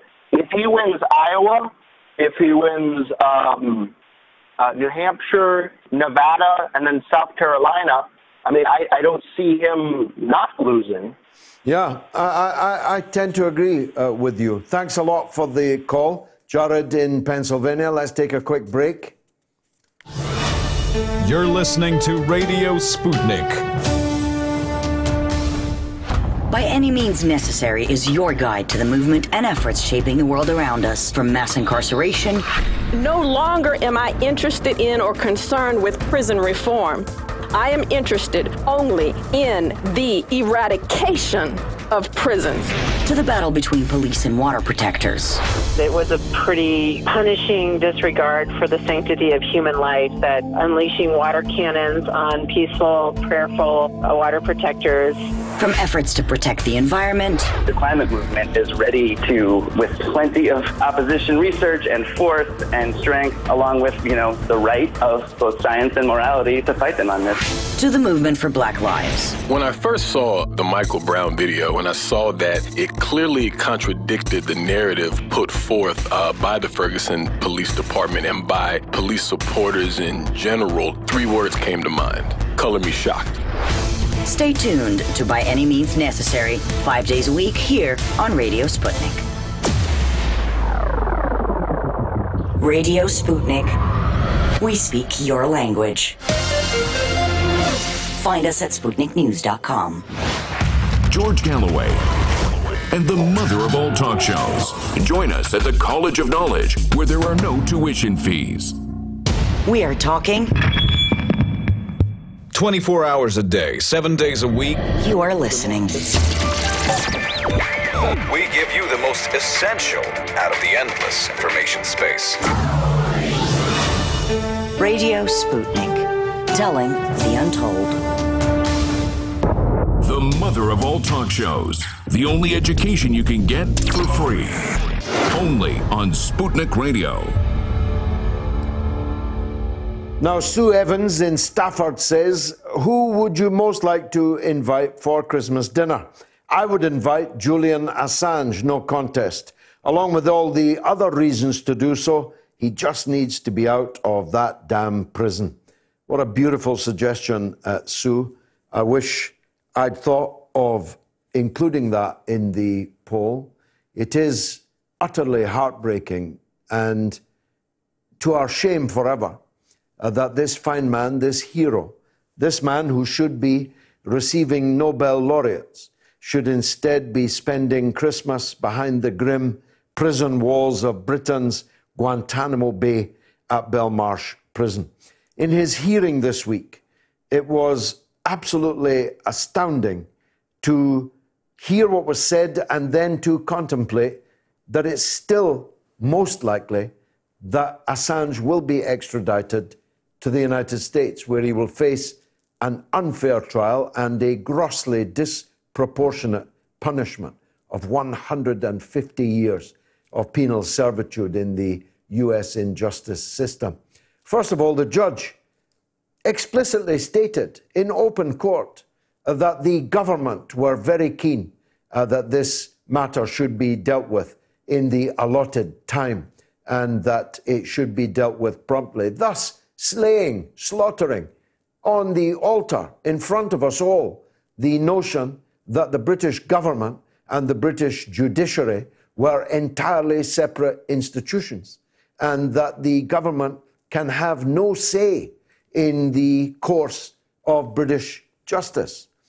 But the good thing was, Julian's legal team, perhaps for the first time, certainly for the first time in a big way, and that I was able myself to see and hear, the category of political offences is explicitly, specifically excluded from the extradition treaty that David Blunkett sneaked through in the summer when the House was not sitting between Britain and the United States back in 2007. Now, I know that personally because, as someone who would have opposed that treaty if I had been able to do so, if it had not been secretly done behind Parliament's back, I went to see the then Home Secretary, David Blunkett, about it.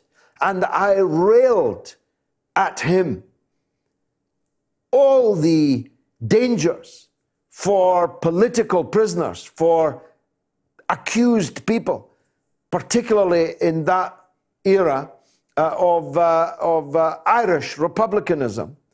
I talked about political offenses, political crimes. And he absolutely poured oil on my troubled waters.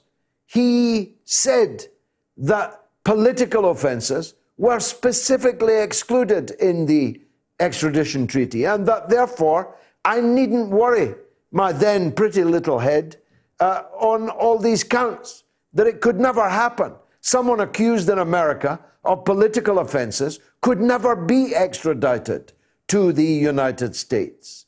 I must say, to some extent, he managed to persuade me that that was so, and yet Julian Assange's charges could not be more political in nature. It's impossible to imagine charges that would be more political than these. Blowing the whistle on US war crimes in Iraq, what could be more political than that? And yet, that very same extradition treaty is now being used to extradite Julian Assange. Uh, this one from Lauren Kell Salmonson. Uh, I just discovered last Sunday and greatly enjoyed your broadcast the greatest talk show. I've been living in Fairfield, Iowa for 10 years now. I'm mystified that the Democratic Party locals don't campaign between elections or even during pre election campaigns properly. All older white women were starting in an organizing committee meeting last March, and since when I asked for literature, flyers, etc., that I could take door to door and to public places, they have provided nothing to me. Sounds a bit like the Labour Party normally, Lauren. Thank you uh, for that. And Dave says, My question for you is why didn't Corbyn purge his party of the worst of the Blairites for bringing the party into disrepute and have his members at the Labour Party conference pass mandatory reselection for all parliamentary Labour Party MPs by local Labour members? who overwhelmingly supported Corbyn. This would have purged all these Blairites who have no place in a socialist Labour Party and whom the members of the Labour Party and the activists from the local Labour parties detest and resent. Thanks for reading my question. Well, Dave, uh, he could and should have done. It is quite simply inexplicable that Tony Blair remains a member in good standing of the Labour Party, as does Peter Mandelson, as do Jack Straw, Geoff Hoon, and all the other war criminals exposed by the Chilcot inquiry. It is inexplicable that Tony Blair, despite repeatedly inviting members of the public to vote for anything but Labour has retained his Labour membership card. But in truth, Blair would be able to dictate the pace and course of events, whether he was in the Labour Party or not. Uh, but that is precisely what he has done. Blair is in command of the Labour Party today. He is in charge of the course of events. He drove the uh, Brexit U turn that cost Labour the election. And I believe he did so knowing that it would lose Labour that election, and thus Corbyn the leadership, and thus a counter revolution could then begin. And it has begun. I spoke earlier, and nobody's called on that yet, by the way 02077 982 255. Tell me what you think of the Labour candidates for leader. I gave you my opinions quite candidly, quite frankly. Uh, but you can see it in that lineup. Almost all the candidates Lisa Nandy, David Lammy, Yvette Cooper, Sir Keir Starmer, Lady Emily Thornberry these are all proto uh, Blair candidates. They are Blair by another name or in other dress. Uh, these, Jess Phillips, my goodness, how could I forget her? Uh, these are all clearly candidates for a return to Blairism. And Corbyn's forces are so unsure of the anointed one, Rebecca Long Bailey, uh, that another Corbyn candidate has now emerged, even though both of them cannot possibly be on the ballot paper. There's not enough left wing Labour MPs to put both of them on the ballot paper. Indeed, if they split it, it could be that neither of them gets on the ballot paper. Let's uh, hear from Julian in London. Go ahead, Julian. Hello, George. Just picking up on Syria. Oh, I yes? was there as a tourist last week. Wow, as a tourist. So as a tourist. Tourism has begun again in Syria. Thank the yes, Lord. it, it Thank is. the Lord. Uh, and the friends I made said it w- it's slowly but surely coming back. And this year they've seen more tourists than they saw last year. And I'm hopeful for 2020 that it will just keep on rolling. I was in Maaloula that you mentioned, where, Ah. where they speak Aramaic. How wonderful and a place the is. icons that were destroyed and damaged are still on display. And you see the sadness in the hearts of the people, but the optimism that hopefully this is over with and they can all move on together, whether Christian or Muslim. And even the Muslims in that town speak Aramaic as well. and Did, uh, everyone let is me very, interrupt very. you. Uh, Let me interrupt go you uh, for just for a minute.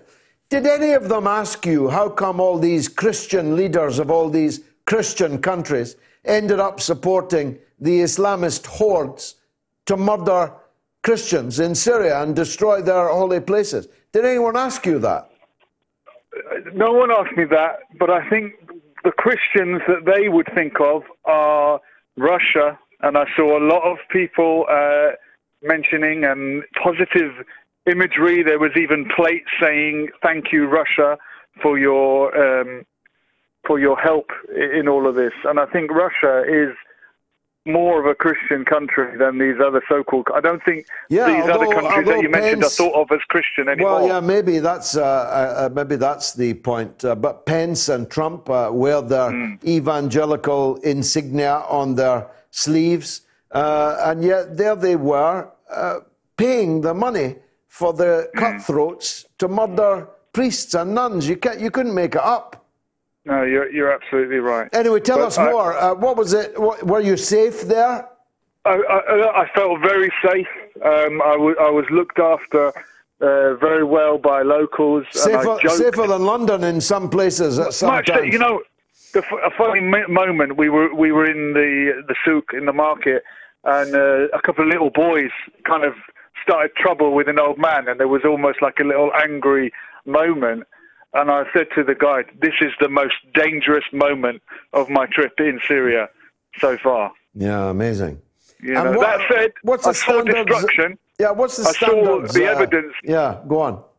So, like traveling from Homs to Damascus and uh, Tartus on the coast, as you travel through, you can see uh, the destruction and, and the devastation. There's no doubt that there has been uh, conflict there, but peace has returned to this part of Syria. Obviously, I couldn't get as far north as Idlib, or I think that's the only area really that's unsafe at the minute. Yes, and that's the part that we uh, uh, control, uh, the West and Turkey. Uh, just let me ask you: Did you get to Aleppo?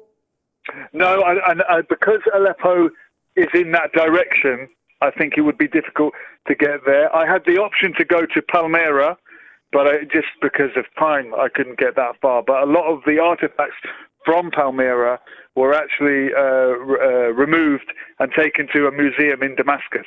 They were eager to preserve this culture and folklore. Well, Palmyra. That were descending onto Palmyra. Palmyra is one of the most magical spots on mm. earth. It is mm. a, truly a wonder of the world. That's spelled P A L M Y R A. If anyone gets the chance uh, to yeah. go there, uh, they yeah. should. I was just going to ask a banal question.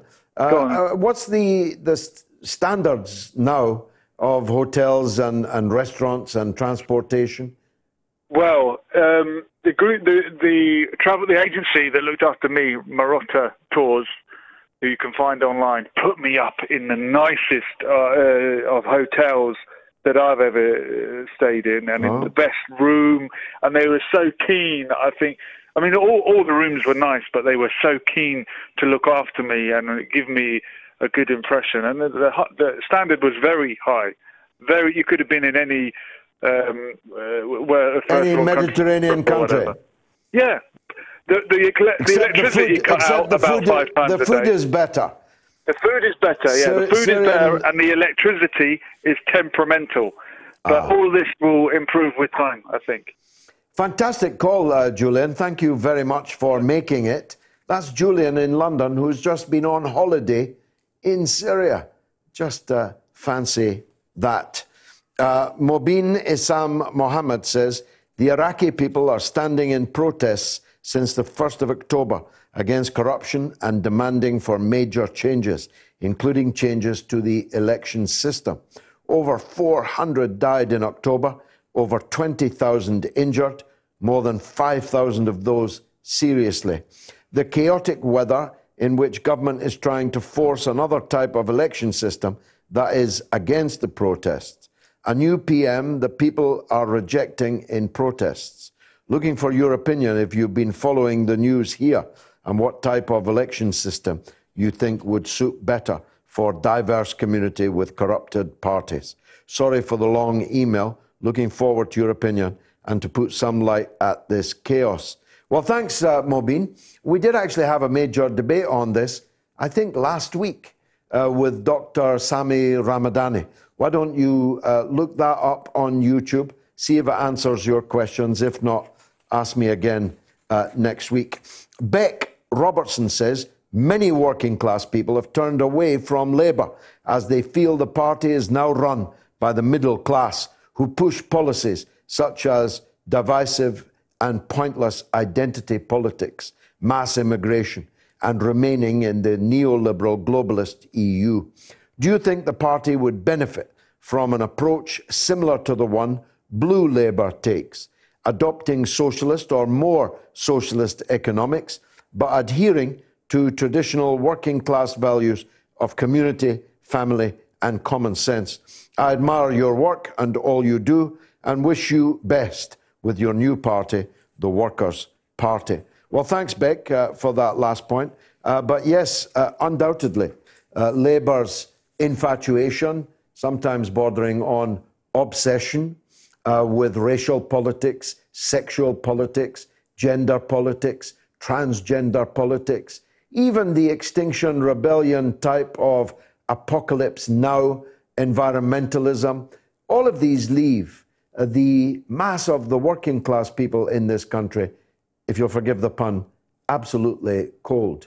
Labour needs to turn back to its formerly winning coalition of working class people as the bedrock and intellectuals and uh, socialists by theory, even from the upper class, like Mr. Benn, as their allies.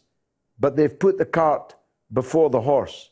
They're now a party with virtually no workers. And a working class party without workers is uh, an oxymoron. A, a labour movement without workers is an oxymoron. But I'm afraid that that's what we have got. When I look at the TUC and when I look at the Labour Party uh, in the Parliament, it is an oxymoron and it was a disaster waiting to happen. And indeed, happen it did. Let's take the news with Jamie Lowe. I'll be right back. Curious about our curriculum? Have something to say? Then call us now to join the debate on the mother of all talk shows with George Galloway. This is Dominic Carter, a political reporter in New York for Verizon Fios TV News. This is Dr. Bill Honigman of Progressive Democrats of America, PDAmerica.org. Hey, everybody, my name is Tim Black of The Tim Black Show. This is Tom Luongo of Gold Goats and Guns. Hello, this is Benny Johnson. Hi, this is Juanita Broaddrick, author of You'd Better Put Some Ice on That. This is Jamal Thomas from the Progressive Soapbox. Hey, this is Raheem from DC. This is Rachel Blevins, a correspondent with RT America, and you're listening to Fault Lines with Nixon and Stranahan. When I'm waking up in the morning I'm looking for what's on the queue for the day, I tune to Fault Lines with Nixon and Stranahan. The wokest radio show for your wokest AM. These guys are the best in the business and experts when it comes to policy. They're bringing you the top headlines with an angle that you won't see in the mainstream media. Fault Lines is the greatest show on the radio. I enjoy immensely talking with Lee and Garland. They always treat me uh, from either side with due respect, and it's a wonderful conversation. The best morning news show in America. Fault Lines with Nixon and Stranahan. Lee and Garland speak truth to power from the depths of the swamp itself, right here on Radio Sputnik.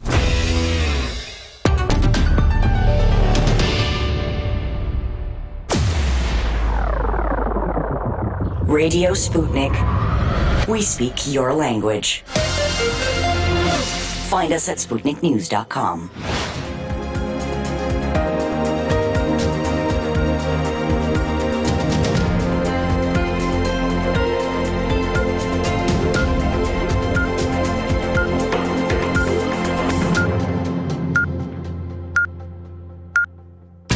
Radio Sputnik News. 13 people are in hospital after being shot at a house party in Chicago with four critically injured. Police recovered a revolver from the scene on the city's south side in the early hours of Sunday. Two people are being questioned, and the victims are between 16 and 48 and are suffering from various gunshot wounds to their bodies, according to Chicago police. The youngest victim is one of those critically injured, but is said to be in a stable condition. The leader of the Australian state of New South Wales says the catastrophic wildfires have almost completely razed one Australian community to the ground.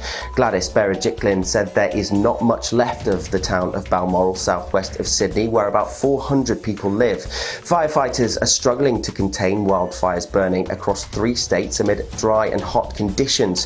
However, Australia's Prime Minister Scott Morrison, who was forced to return from a family holiday in Hawaii to deal with the crisis, said it's not to link climate change to the country's devastating bushfires. He says there are many other factors responsible for the fires that have killed at least nine people.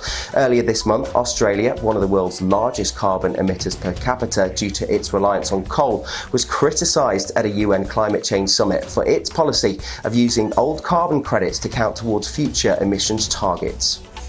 Media reports in Britain are claiming that UK Prime Minister Boris Johnson is reluctant to visit the United States because of the impeachment of US President Donald Trump.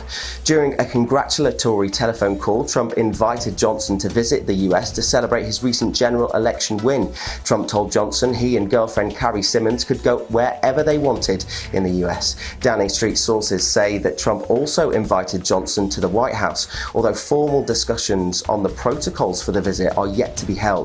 However, it is believed Johnson is resisting going prior to Trump's impeachment trial in the US Senate and before his January 31st Brexit deadline. According to sources, Johnson is widely expected to name Michael Gove as his new trade supremo responsible for talks. Neither Johnson nor Trump have commented on the reports. A six year old girl who found a message from a prisoner in China inside a Christmas card brought from the UK supermarket chain Tesco has said that she thought it was a prank. Florence Widdicombe described it as really weird to find the notes in the charity card. Florence, who lives with her family in West London, says she was sitting down at the table writing her cards to friends when she opened one and started laughing because someone had already written in the card. She then passed it on to her mum, who thought it was a prank. The message read, We are foreign prisoners in Shanghai Prison, China, forced to work against our will. Please help us and notify human rights organisations. Tesco said it was shocked by the find and had started an investigation and had also stopped working with the Chinese factory where the card decorated with a kitten wearing a Santa hat was produced. And finally, four generations of the British royal family have been pictured mixing a Christmas pudding. The photos show the Queen, Prince Charles, Prince William, and Prince George laughing together as they stir the fruit mixture in bowls at Buckingham Palace. The Christmas tree behind them is decorated with regal decorations and baubles, including crowns, a corgi, a throne, and a soldier in what appears to be a Scottish kilt. The cooking sessions were filmed, and clips will be included in the Queen's annual Christmas message, which is broadcast in the afternoon of Christmas Day. Missing from the picture is the Queen's husband, 98 year old Prince Philip, who was admitted to hospital on Friday for treatment to what was described as a pre existing medical condition. Well, that's the news here on Sputnik. I'm Jamie Lowe.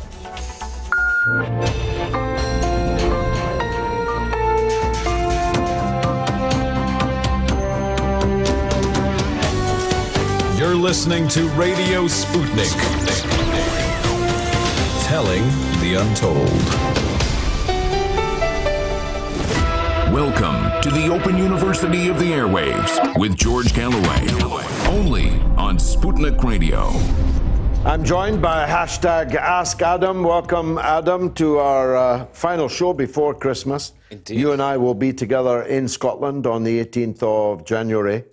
I saw that Michael Gove was in for uh, promotion. Yeah, Uh, he's going to be going around the world uh, um, making trade deals. First stop, Colombia. I think we'll get a stonking trade deal with Colombia, don't you?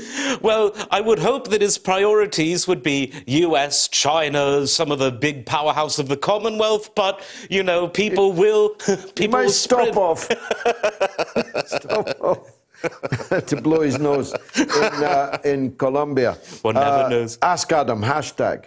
The Flat Earther asks I wish to ask Adam, how much of an economic boost can we expect to the economy in terms of trade, GDP, jobs, etc., when Britain signs free trade deals with the USA, Canada, Australia, China, South Korea, Japan, etc.? And do you think the EU will refuse to sign such a free trade deal with Britain, despite such a deal being in the EU's economic interest? Because the EU is still trying to punish the British people for having the temerity to vote to leave? Good question. Well, such a good question. I almost expect John Bercow to bellow out order, order before I stand up to answer. First of all, GDP isn't something I'm fond of. I'm fond of having a big one, but it's not the best measurement of genuine national wealth or even genuine national productivity, but it is what we've got, and I don't see people changing the measurement anytime soon. So, that being said, of course, GDP and those other statistics that the caller mentioned will no doubt go up whenever trade uh, barriers go down. Trade is always good for the economy, and there's an old saying by a Frenchman, quite ironically in the context of today's politics, that when trade crosses borders, armies do not. So trade is a win-win situation for all countries involved. Now, though, to the bit about the EU. Michel Barnier, who, unlike uh, Juncker, who's gone off to retire in a wine cellar somewhere, and Tusk, who's uh, no longer even the world's second most famous Donald, the duck is now returned to his number two place behind Mr. Trump. Uh, but uh, Barnier is continuing, and he's going to be the negotiator. But I think and I hope that Boris's team will be a lot tougher, a lot more clever, and put down the iron boot a lot firmer than Theresa May's high heel, which was always sort of, uh, sort of floating off the ground as she prostrated herself before Barnier and the rest of them.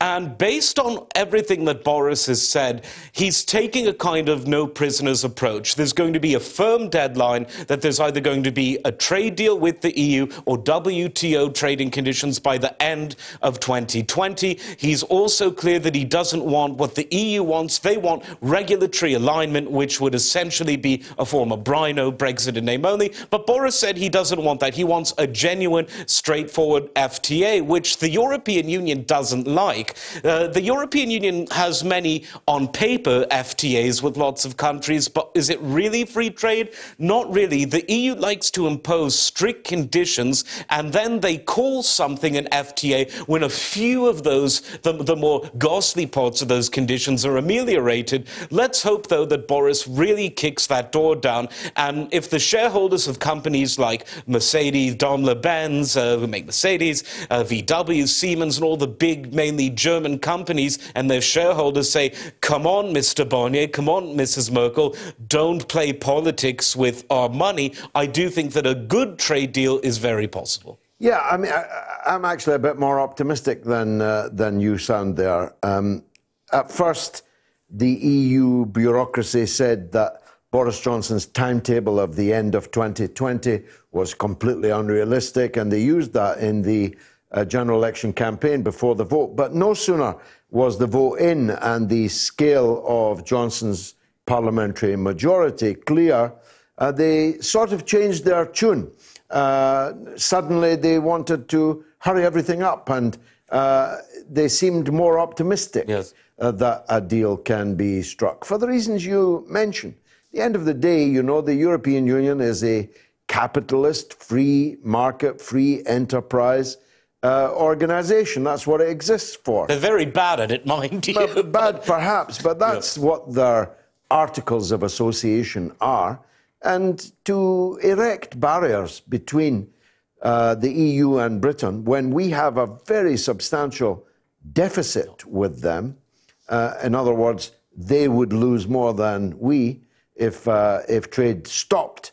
Uh, it seems uh, to me unlikely that at the end of the year they're going to hold that up. So yeah. I'm thinking there will be a deal. I think if someone wants to learn how to negotiate with the EU, just read your book where you talk about how to stand up to bullies, mm. because that's what the EU is, whether on trade deals, whether on foreign policy, whether on accession talks to new members who want to join. I don't know who would want to join the EU, but a few countries. Scotland. yes. At least according to the SNP. Well, they have to get independent. You know, they're putting the cart before the horse there. But yes, indeed, according to Mrs. Sturgeon, who is still on both the high road and the low and road. The low road was one of your best lines. I have to use it next month. pleasing. Uh, Patrick is on the line from Louisiana. He's got a question for you on a second referendum. Mm. Patrick, go ahead.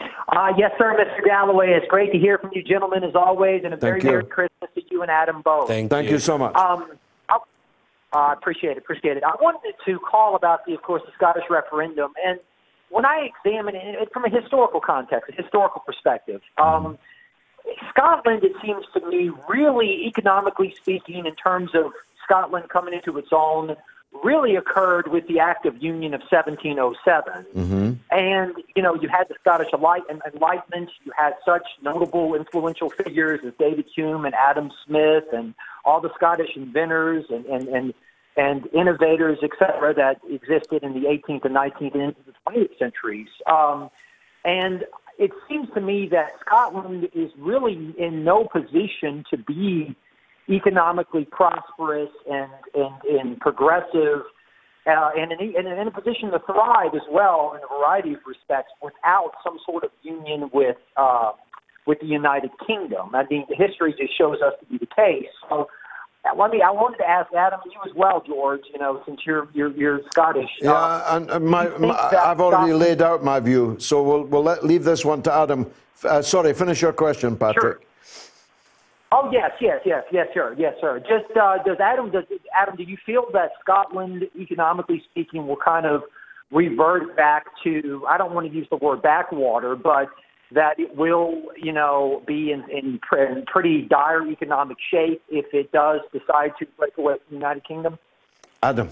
Well, it's very interesting, Patrick, that you mention uh, the Scottish Enlightenment, and one of the reasons for that was Scotland during the even the 17th century, but particularly the 18th century after the Act of Union, had a far superior, on the whole, education system vis-a-vis England, and especially in the Through sciences. most of the 20th century, that was also true. Yes, and the historical background of it is the Presbyterianism that informed Scottish education for a long time was more focused on pragmatic science than was English education, which uh, before the secularization of this part of the world was more informed by a more philosophical Anglicanism as opposed to the, this, this a more low church version of a Protestant work ethic, which informed the Scottish egalitarian, or at least partly highly egalitarian in many ways, education system. Today, though, Scotland has, even when you compare a Scottish comprehensive to the average English comprehensive, Scotland is now below England, where for, as you say, a long time, well into the contemporary era, that wasn't the case. And economically, Scotland, which once had mighty industry from shipbuilding just being one of them, and great innovation, it's really fallen far behind, which again goes to show that money doesn't solve all problems. The Barnett formula, which exists in such a way that uh, taxpayers in most of the UK are subsidizing uh, investment into Scotland, and it's actually made Scotland worse off than it was during the periods from 1701 into the early part of the post war era. Now, I do think Scotland would be much worse off outside of the Union for economic reasons and, of course, for cultural reasons, yeah. As, as, as you mentioned earlier. But like you, and unlike some, I think let's have a referendum. Uh, unlike many, even on the Brexit side, who have sort of referendagitis because of the whole the debacle, I, have always liked referenda, and I like them now more than ever. Me Because, hey, it took a while to get there. I always win them. yeah, you have a good record. Uh, I don't know, maybe Mr. Ladbroke will call you up and give you some sort of Christmas present. I, I hope so. Um, but I like referenda because when politicians are indecisive, decisive, and God knows we've had a lot of that. A referendum, a simple binary choice, and I say let Scotland have it. No one should be prohibited from having a referendum if they want one. I think that Sturgeon would lose by a fairly similar margin to that which she and Salmond and the other fishermen lost in 2014, but let them have it. I like democracy. They I said like it was uh, a once in a lifetime. Uh, it, that might be the lifetime of a sturgeon, uh, but, but, but, it's not the lifetime of a people. Well, you know, Uh, salmons do swim upstream. Well, they do. it's going to have to, but we better not go into that. Um, now, the uh, my point to add to that, Patrick, uh, would be would be this. Uh, it would be on the cultural point that Adam uh, just made. For the reasons I mentioned earlier, the idea that Scotland has more in common with Bulgaria and Romania than it does with England and Wales is quite obviously fanciful. Uh, we have been together for more than 300 years. We are grafted together like bone. Our finest hour uh, was spent together uh, when the Spitfires were overhead in the Battle of Britain. Nobody asked if the pilot was from Sutherland or Sunderland or Suffolk. They were part of the Royal Air Force that was defending this island against fascist barbarism. And we won, we prevailed as one people. And of course, in a long marriage, no doubt disgruntlement uh, can sometimes arise. Uh, no doubt uh, a period of uh, conciliation, a period of separate holidays uh, might be in order. But to divorce Scotland from England and Wales would be a profound economic and cultural mistake. I've been divorced more than once, uh, and there is no such thing as an amicable divorce. None. It never happens. And in a divorce between two countries which had no reason to divorce, Scotland is not an occupied country. Scotland and England together occupied many other countries, most of the countries of the world. Scotland was an equal partner.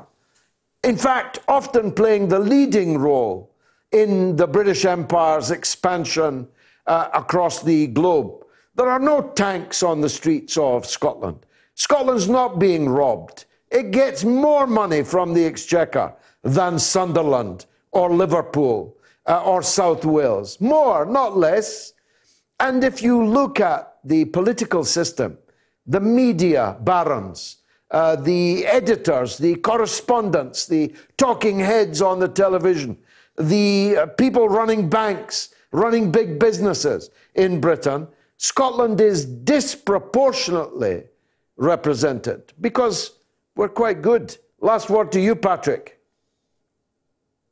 You know what, Mr. Galloway, you're exactly right. If you look at the Scottish influence in the context of the United States, the influence that the Scots and the Ulster Scots mm. or Scots Irish had on the United States, if it wasn't for the Scottish Whitemen, well, United we, States would never have existed. Yeah, Patrick, we even gave you Donald Trump, but let's uh, let's quickly uh, yeah. uh, cover that one up. Thanks for the call, Patrick. I just let's... need to correct myself. Actually, I said 1701, and I can already f- hear the bagpipes the of anger. Of that was 1801 with Ireland. It's 1707. Yeah, well, 1701 was the Union of the Crowns, and yes. 1707 was, was the, the Union of, of the Parliaments, yeah. the Act of Union. Sean in Stevenage, go ahead, Sean.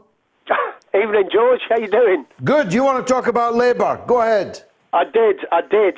Uh, I, I, rang you uh, a couple of weeks back, and, and I couldn't believe that 49% of working class folk were going to vote Tory. And you were right, they I did. Was, I was. You were...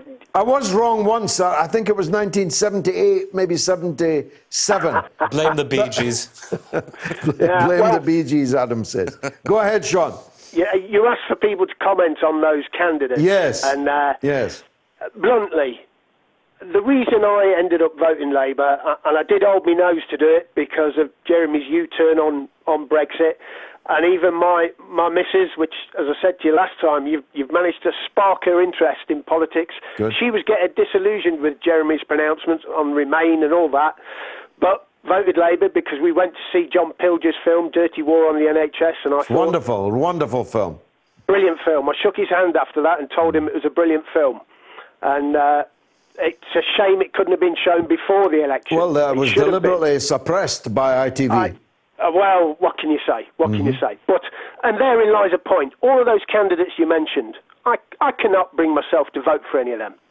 They would be quislings for the corporations and for the neoliberal interests.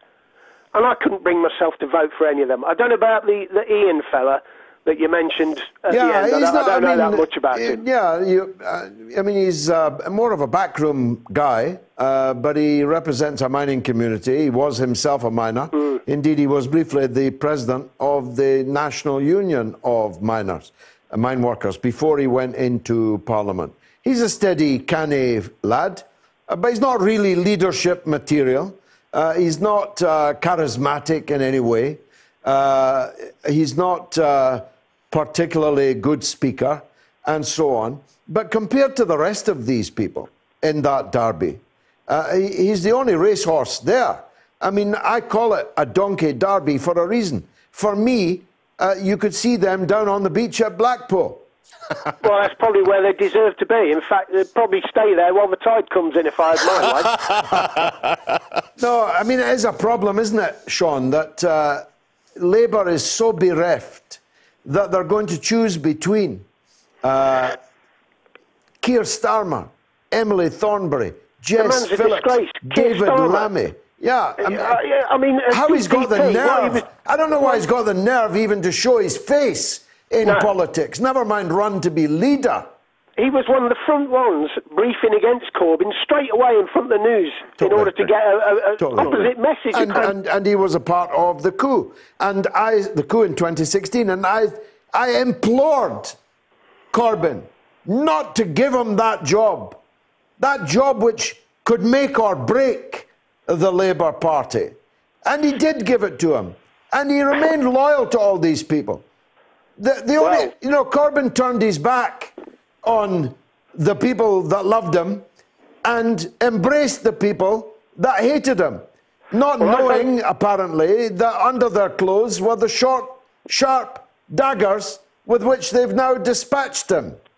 Well, a right knight of the long knives, I think. I, Yeah. I voted for him in that leadership contest because I, uh, I've kept my union membership up Yeah. over all these years. Even though I'm no longer in manufacturing, I run my own small business now, Okay. Doing management consultancy. Uh, probably people should say, "Why are you still paying your union No, dues?" good for you, mate. Good for you. Because I'm a working lad. Yeah, That's why. good for After you. all these years, I'm, I'm as as uh, as uh, Sir Van Morrison would say, you're a working man in your prime. Let's hear from Adam. Let's hear from Adam on the Labour leadership contenders. Adam.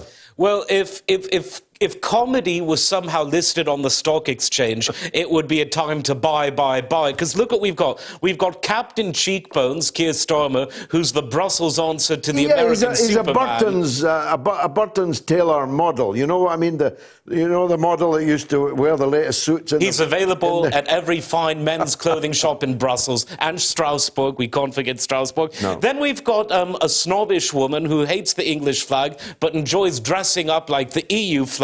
Then we've got a gobby woman who talks only about herself, and even then it doesn't make much sense in the English language. Then you've got Ginger Corbyn, you've got Blonde Corbyn, uh, you've got a man who makes uh, fun of people who have taken their own lives through a gunshot wound to their mouth in the Houses of Parliament. I mean, it really is.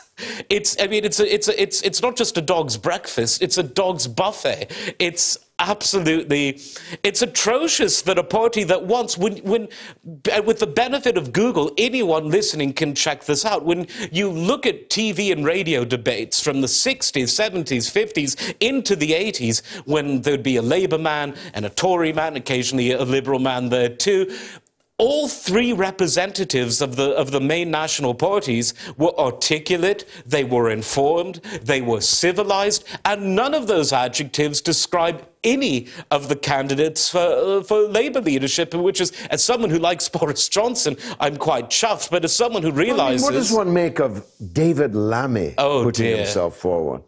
I mean, first of all, he, he, he says he's the, he's the, he wants to be the first BAME uh, leader, but Diane Abbott already ran uh, as the candidate Hmm. for leader. And then he says uh, that he's standing for the rights of refugees, having created more refugees than almost any other member of parliament. And when he's attacked, I know this for a personal fact, he plays the race card against anyone that attacks him. So if you attack him for things that he actually has done, has said, does believe, you get called a racist by David Lammy. How's that going to work? That'll look good on the, the national stage. Well, if the Labour leader was elected by Twitter trolls alone, he'd probably win with a 200% uh, margin of victory. Um, I don't know who's doing the maths, maybe one of his former frontbench colleagues. Uh, but no, it's the, the, the whole thing. He's sort of the human loudhailer. He's the human troll, essentially, because he says in real life what most people only say when hiding behind pseudonyms online. It- it's quite disgraceful. line, uh, the human loudhailer will uh, live long. Sean, thanks for your call and regards to your missus. Please, let's take a quick break after I tell you this. There's a second poll. What's in the Queen's handbag right now? A, a receipt from Pizza Express in Woking. B, Prince Philip's car keys. We wish him a long life and hope he recovers from his recent uh, spill. And C, her German passport. Now, there's a thought. Maybe she'll stay in the European Union by invoking her former uh, Germanness. Okay, A, receipt from Pizza Express in Woking. B, Prince Philip's car keys. C, her German passport. You can vote right now on my Twitter feed. We'll be right back.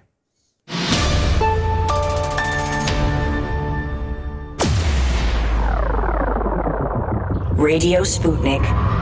We speak your language. Find us at SputnikNews.com. Tune in every Thursday to Loud and Clear with Brian Becker for the regular segment called Veterans for Peace, where we focus on the contemporary issues of war and peace that affect veterans, their families, the country, and the world as a whole. Veterans for Peace President Gerry Condon joins the show every Thursday. Hear about this and more every Thursday right here on Radio Sputnik. We are above all the latest developments, and we don't take any sides. Radio Sputnik, telling the untold. The mother of all talk shows with George Galloway. The world is our classroom, and you're welcome to sit in and join the seminar. Will in Singapore says, Love your show. Say hi to Singapore. Love hi, your country. Singapore. That's uh, Adam's favourite country. Are you as amused as I at the prospect of an extradition swap involving Julian Assange in exchange for Anne Sacoolas, the wife of a US spy who allegedly killed a young Brit, then skipped town? If you're ever in my city, you must let me buy you a mug or three of tea. Thanks for that, Will. I'll take you up on that. John says, Hi, George and Adam. With the UN report linking 120,000 deaths in the UK to austerity and with poverty rising, could we see cannibalism taking place among the homeless of the UK in the near future? John, that's just uh, uh, ludicrous. Uh, but uh, austerity is over, isn't it, according to uh, your mate, uh, Boris Johnson? Well, I've never liked the term. I prefer the word administrative uh, errors because the, the money, the people in this country, like the US, like most Western economies, they're always spending money they don't have, which I'm totally opposed to. I think it's dishonest. I think it's immoral. I think it's a kind of theft from the poorest who always end up paying the burden of extreme debt one way or the other, either in the short term or the medium term, always in the long term. So what we saw is essentially not that the spending of money was being significantly curtailed, but that it was being spent on some things and not the others. And of course, it was appalling when you saw money being taken away from pensioners and taken away from the needy, people that I still call the deserving poor, because in the 19th century, people spoke much more plainly and much more honestly than they have in the post Blair era, where the English language has been ripped apart almost as much as the constitution of this country. Uh, so much for being unwritten. Tony Blair found a, a, sharp knife and he ripped it apart nevertheless. But it does seem that when it comes to these issues of sort of social care, of the NHS, uh, of, the, of the deserving poor, uh, Boris is going to spend in ways in which Cameron and May did not. And one thing that really delighted me as someone who is the opposite of a Thatcherite, but someone who thinks Disraeli was the best prime minister this country ever had, with Lord Salisbury being a very, very close second, is that the Conservative uh, Party, and James Cleverly, the chairman in particular, is talking a lot about Benjamin Disraeli. And Benjamin Disraeli was all about a union between working class interests and traditional Tory interests. And Disraeli had these views from his earliest days when he was part of the radical Tory Young England group and into his later days when he gave a wink and a nod to Randolph Churchill, who himself formed the Tory democracy movement, a form of Tory radicalism which took the country into lost decades of the 19th century. And so we'll have to see what happens. All governments are dishonest, and all government spending is a lot of smoke and mirrors, because as we were saying with the Barnett form formula, money isn't the solution to everything. Proper organization and proper efficiency with the money you have, I think, is more important than the amount. That being said, there's some very interesting signs, and I think the talk about Disraeli and the lowering of the volume on Thatcher is, for me anyway, a very hopeful development. Let's take a call. Sarkar in Glasgow. Go ahead, Sarkar. Hi, George. Good evening. In fact, uh, amazing show, mate. Thank you so much that both you and Adam are here. And it's a very Thank important you. question I have to ask you, George. Go ahead, sir. I mean, first of all, congratulations on getting bang on another prediction right about the elections. Thank now, you. George, the thing which I want to ask you, see now the SNP off late have literally gone ballistic since the election results came in. Yeah. They are going absolutely full, you know, lock, stock, barrel, asking for a second referendum. Yeah. According to them, every blame happens because of Westminster. Now, I'll tell you something, George. Believe me, this is something which I've seen with my own eyes. You know the health, the police, the legal system, all these things are devolved in Scotland, but the drug problem, which is so massive in Scotland, the SNP don't say a word about that. And believe me, everyone knows about that, but for some reason, none of the parties seem to talk Well, about that. Well, they were all posing for a picture in my home city of Dundee the other day, and they were all grinning uh, from ear to ear. Now, what they didn't divulge was that Dundee is the drugs death capital of Europe. I mean, And they've been in power for 10 years. What have they done about that? And you know, George, the other sad part, and I'm saying this, and believe me, it's not newspaper news because I know how newspapers work. With my own eyes, I've seen the way 14, 15 year old kids are being proselytized to say what a great project Scottish independence will be, how you guys are prisoners of Westminster. And on top of that, making kids fill up forms at the age of 12 and 13 to say either you can choose to be a male or a female or prefer not to disclose a gender or consider yourself gender neutral. Really, are these things worth it to go for independence? Not a single discussion about policies, not a single discussion about Barnett formula, not a single discussion about how much they trade with UK compared to the rest of EU, whether there will be a hard border or not. And these are the things they're focusing on, ignoring drug problems. What is the problem with SNP? When will they ever civilize? That's my question, George. They are, they are the, the Blairite party in Scotland. They have adopted all of the worst aspect of the Blair era and put a kilt on it. Am I right? yes, um, it's, there was actually a photo, and for legal purposes, it could have been Photoshop, but it appeared that Sturgeon was standing uh, next to two Scottish flags without the Union flag present, which is. no, she was. It wasn't Photoshop. So I that was genuine. Well, I mean, Yeah. I just think that that's so insulting because, I mean, Britain is still. It's weird, surreal. Still a member of the European Union, only for another month and a week, but we can't deny reality. I mean, there'll be a lot of celebrations uh, uh, in, in my bedroom after. I, well, that sounds weird. on the 31st. No need to get personal. Quite so, especially not when we're talking about Mrs. Sturgeon. Uh, but no, the SNP are behaving in such a childish way, and it was frankly encapsulated by um, Nicola Sturgeon's celebratory sort of breakdance uh, when she was caught uh, off guard on camera when she found out that Jo Swinson. I thought that was rather ugly, actually. I- It was a uh, bit of for uh, for a, a woman, especially. I Mm. thought the Schadenfreude on display was, well, rather um, unbecoming. I thought I thought so too, because even though I'm about as far from a Lib Dem as day is tonight, I, I felt for, for Jo Swinson, uh, partly because she started her campaign by saying she was going to, she had every possibility of being the Prime Minister, which I suppose she still could if she gets appointed to the House of Lords and become the only Prime Minister from that House since one of my favourites, Lord Salisbury, but sh- she ain't no Lord Salisbury. He ain't no Lord Salisbury. Sarkar, thanks. An excellent call. Paul in Nottinghamshire. He disagrees with me on Bernie, so let's hear why. Paul, go ahead. Yes, I do indeed, George. Now, I agree with every single thing you say regarding other uh, matters, Okay. political matters, but I cannot agree with uh, what Professor Richard Wolff was saying, that uh, the academic in America. Yeah. And I'd just say to you, George, you know, just look at uh, Bernie Sanders' voting record. You know, you get a flavour of, you know, the sort of things that he supported over the years. You know, Well, he opposed the Iraq war. to- He, he was he one of the very few to oppose the Iraq war. Well, but he voted, uh, George, to finance the Iraq war. He also supported the sanctions in 1998 against Iraq. 500,000, uh, you know, people died as a result of that. He supported uh, the bombing of Kosovo. You know, it's, it's absolutely shocking. He also opposed when Russia and uh, when uh, Crimea had uh, voted to join with Russia, he opposed a democratic vote, the democratic wishes of the Crimean people. You know, I could tell you lots of things, George. That No, uh, I- you know, I- I've had to I- it's read my old good. Uh, have a no, it's it's good that you provided this uh, antidote uh, because we mustn't get carried away.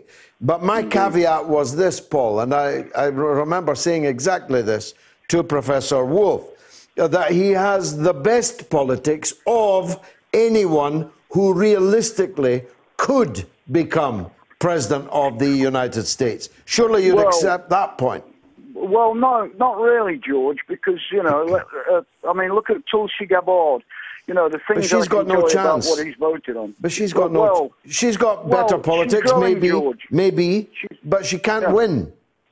Well, she is growing. She's massively growing across the United States. I don't you know. I don't see very- any evidence for that, Paul. Yeah. Well, well, what kind of uh, government will we have if Bernie did come to power? you know, I well, a lot better than uh, a lot better than. No, I'm not expecting him to bring socialism to the United States. Uh, that's a very long way uh, off. Uh, but uh, it would be better than any Democratic uh, president since uh, Roosevelt, in my opinion. And I think uh, Richard Wolff, who's lefter than you and me, uh, uh, more or less conceded that point, didn't he? Well, he, yes, he, he did, George. But ask this question: you know, uh, will Bernie Sanders, if he became president of the United States of America, would he continue shoveling, you know, taxpayers' money into the pockets of the military-industrial complex? Well, You not- not- yeah. When you look at his record, previous record of voting, it tells you okay. he probably well would. Well, the statements he's making day and daily, and I see them every day, uh, are remarkably uh, progressive, left wing, militant. In fact, I often find myself saying to myself, perhaps you shouldn't go that far out on a limb at this stage, because I wouldn't want anything to happen to him, as can happen to people who challenge the prevailing orthodoxy in the United States, if you know what I mean. Yes, I see exactly what you mean, George. Paul, a very good call, uh, and it's always useful to uh, be the antidote to any unwitting uh, um, hysteria. Paula is in London on Jeremy Corbyn. Paula, Oh, hi. welcome. Oh, hi. Go ahead. Um, uh, I don't agree with you on your new party. I don't agree with you with uh, sharing a platform with uh, Farage.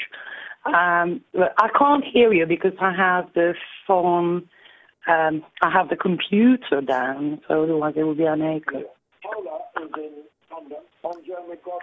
Uh, turn the computer down, Paula. Yeah, we all heard you perfectly yeah, uh, well. if I turn the computer down, can I then hear yes. what George is no, saying? you, you, you'll just hear me from the phone. So go ahead now. Right. Yeah. Uh, yeah, as I said already, uh, I don't agree with you with on so many things. But on Jeremy Corbyn, um, uh, where do I start? Um, I have in front of me an article from Jonathan Cook, um, the plot to keep Jeremy Corbyn out of power, dated July 2019. And I think, in my opinion, that should be on all all across newspapers and media. This is the Mm. utopia. Well, I, think. I, I recall uh, circulating it mightily uh, back then uh, myself, so perhaps that's something you agree with me on. But this is, you know, this is a sheer ignorance that has been going on for the last hundred years since we all became satellites of the U.S. Um, so, as I was saying to your producer earlier, I moved to this country in 1997, escaping Silvio Berlusconi in Italy, who won for the second time, I know, with a landslide. And I just could not believe I was living in a fascist state after 30 years. You know, I moved to this country, I But Berlusconi, 34 wa- when I moved. Berlusconi's Italy was not a fascist state. Otherwise, Berlusconi would not have gone to prison and he would still be the leader.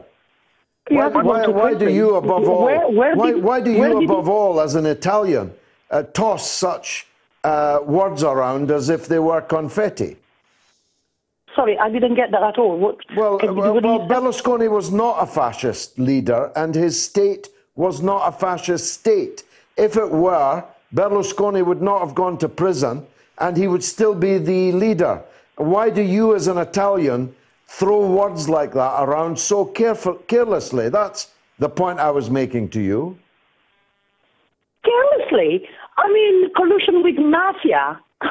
But collu- collusion with mafia is what prime ministers of Italy have been doing for a hundred years. It doesn't make it a Exactly fascist state. Precisely my point. No, it isn't. Precisely my point. It isn't your, precisely your point. You said that Berlusconi represented a fascist state.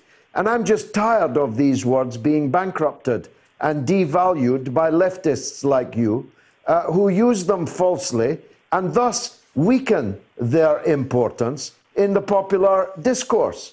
Because he's agree a entirely. So yeah, all agree right. entirely. Right, so how would you you? How would you? How would you describe Silvio Berlusconi then? as a I mean- right as a right wing populist leader who was there today and gone tomorrow. He's now nothing, nobody. well, I wish I wish I could share your. Uh, well, what, what power? your- do, what power does Berlusconi have now? I mean, talk about Well- talk about yesterday's man. My goodness. Um, does the the name uh, Matteo Renzi um, rings any bell in your in your? Yes, but you. He's, but it's you- God's son. It's you that, mentioned Berlusconi, not me, because I no longer think about Berlusconi. It was you that brought him up. Well, you probably anyway, you probably anyway, Paula, don't. Paula, anyway, Paula, let's move over. Move, o- so move what on I to am your saying point. is, yeah. Yeah. What moving on, I am saying this uh, that I. Stupidly, I thought that Tony Blair was better than Berlusconi when I moved to this country in they were bosom. They were bosom buddies. Precisely, precisely. And I, you know, I was, I didn't know, I didn't know anything about it. I just wanted to get out of that regime in my Mm, country. mm. And basically, 22 years later, that's what I am trying to say. 22 years later, I found myself in the same position, if not worse. You know, uh, it has come back to me with a vengeance with this regime. Um, Which regime? The Boris Johnson one that was Boris elected Johnson last week. regime. And I can't Why is it, how get is it a regime? Let- Let's deal. Ontology is very important, Paula. Uh, you mustn't use words that bankrupt them of their meaning. Boris Johnson won a democratic election here last week. It's an imperfect democracy, but he won Well, it, all on- right, he won it on the popular vote. So it's not a regime. Well, let's get straight to the point. What I wish you would. Sorry, I mean, I'm, I'm sorry to open a parenthesis, but you are talking to, despite I've lived here 22 years, you are talking to a non-native, and I admire your eloquence and your, you know, the way you can play with words. But I, I'm sorry, I could do that in my language. I can't. I'm not mature enough No. to do it in in. So I, I appreciate you, you know, tagging me on uh, bankrupting meaning and whatever, but I am still Just- not all I'm uh, saying is you have, no. All I'm saying is you have to use words carefully. Uh, uh, an elected an elected government is not a regime. A right wing All right. populist So is not a fascist. What- Uh, and what- if you right. if you overuse these words, you you devalue their meaning. All right, all right. Thank you very much. Now, my point is, what, in your opinion, the role of the media? Talking of bankrupt, Mm. uh, what's, in your opinion, the role of the media? Well, and uh, going back to Jonathan Cook. Yeah. Uh, well, John, and going John- back to Lee Camp, you know, I Yeah. watch Lee Camp, I Mm. watch you, I read Jonathan Cook, I support Andrew Murray, uh, I have given so much of my little money to independent media. But the bottom line, in my opinion, is we need to get rid of mainstream media. Well, that's a good. Well, let me stop you there because of the hour uh, only. Uh, uh, what I think about the mainstream media is screamingly evident uh, every Sunday night for three hours on this radio and television show. Uh, it is my case, and I made it again at the beginning of this show, uh, that the only place on any significant media platform that you will hear the kind of views you've heard here this evening is here on the mother of all talk shows.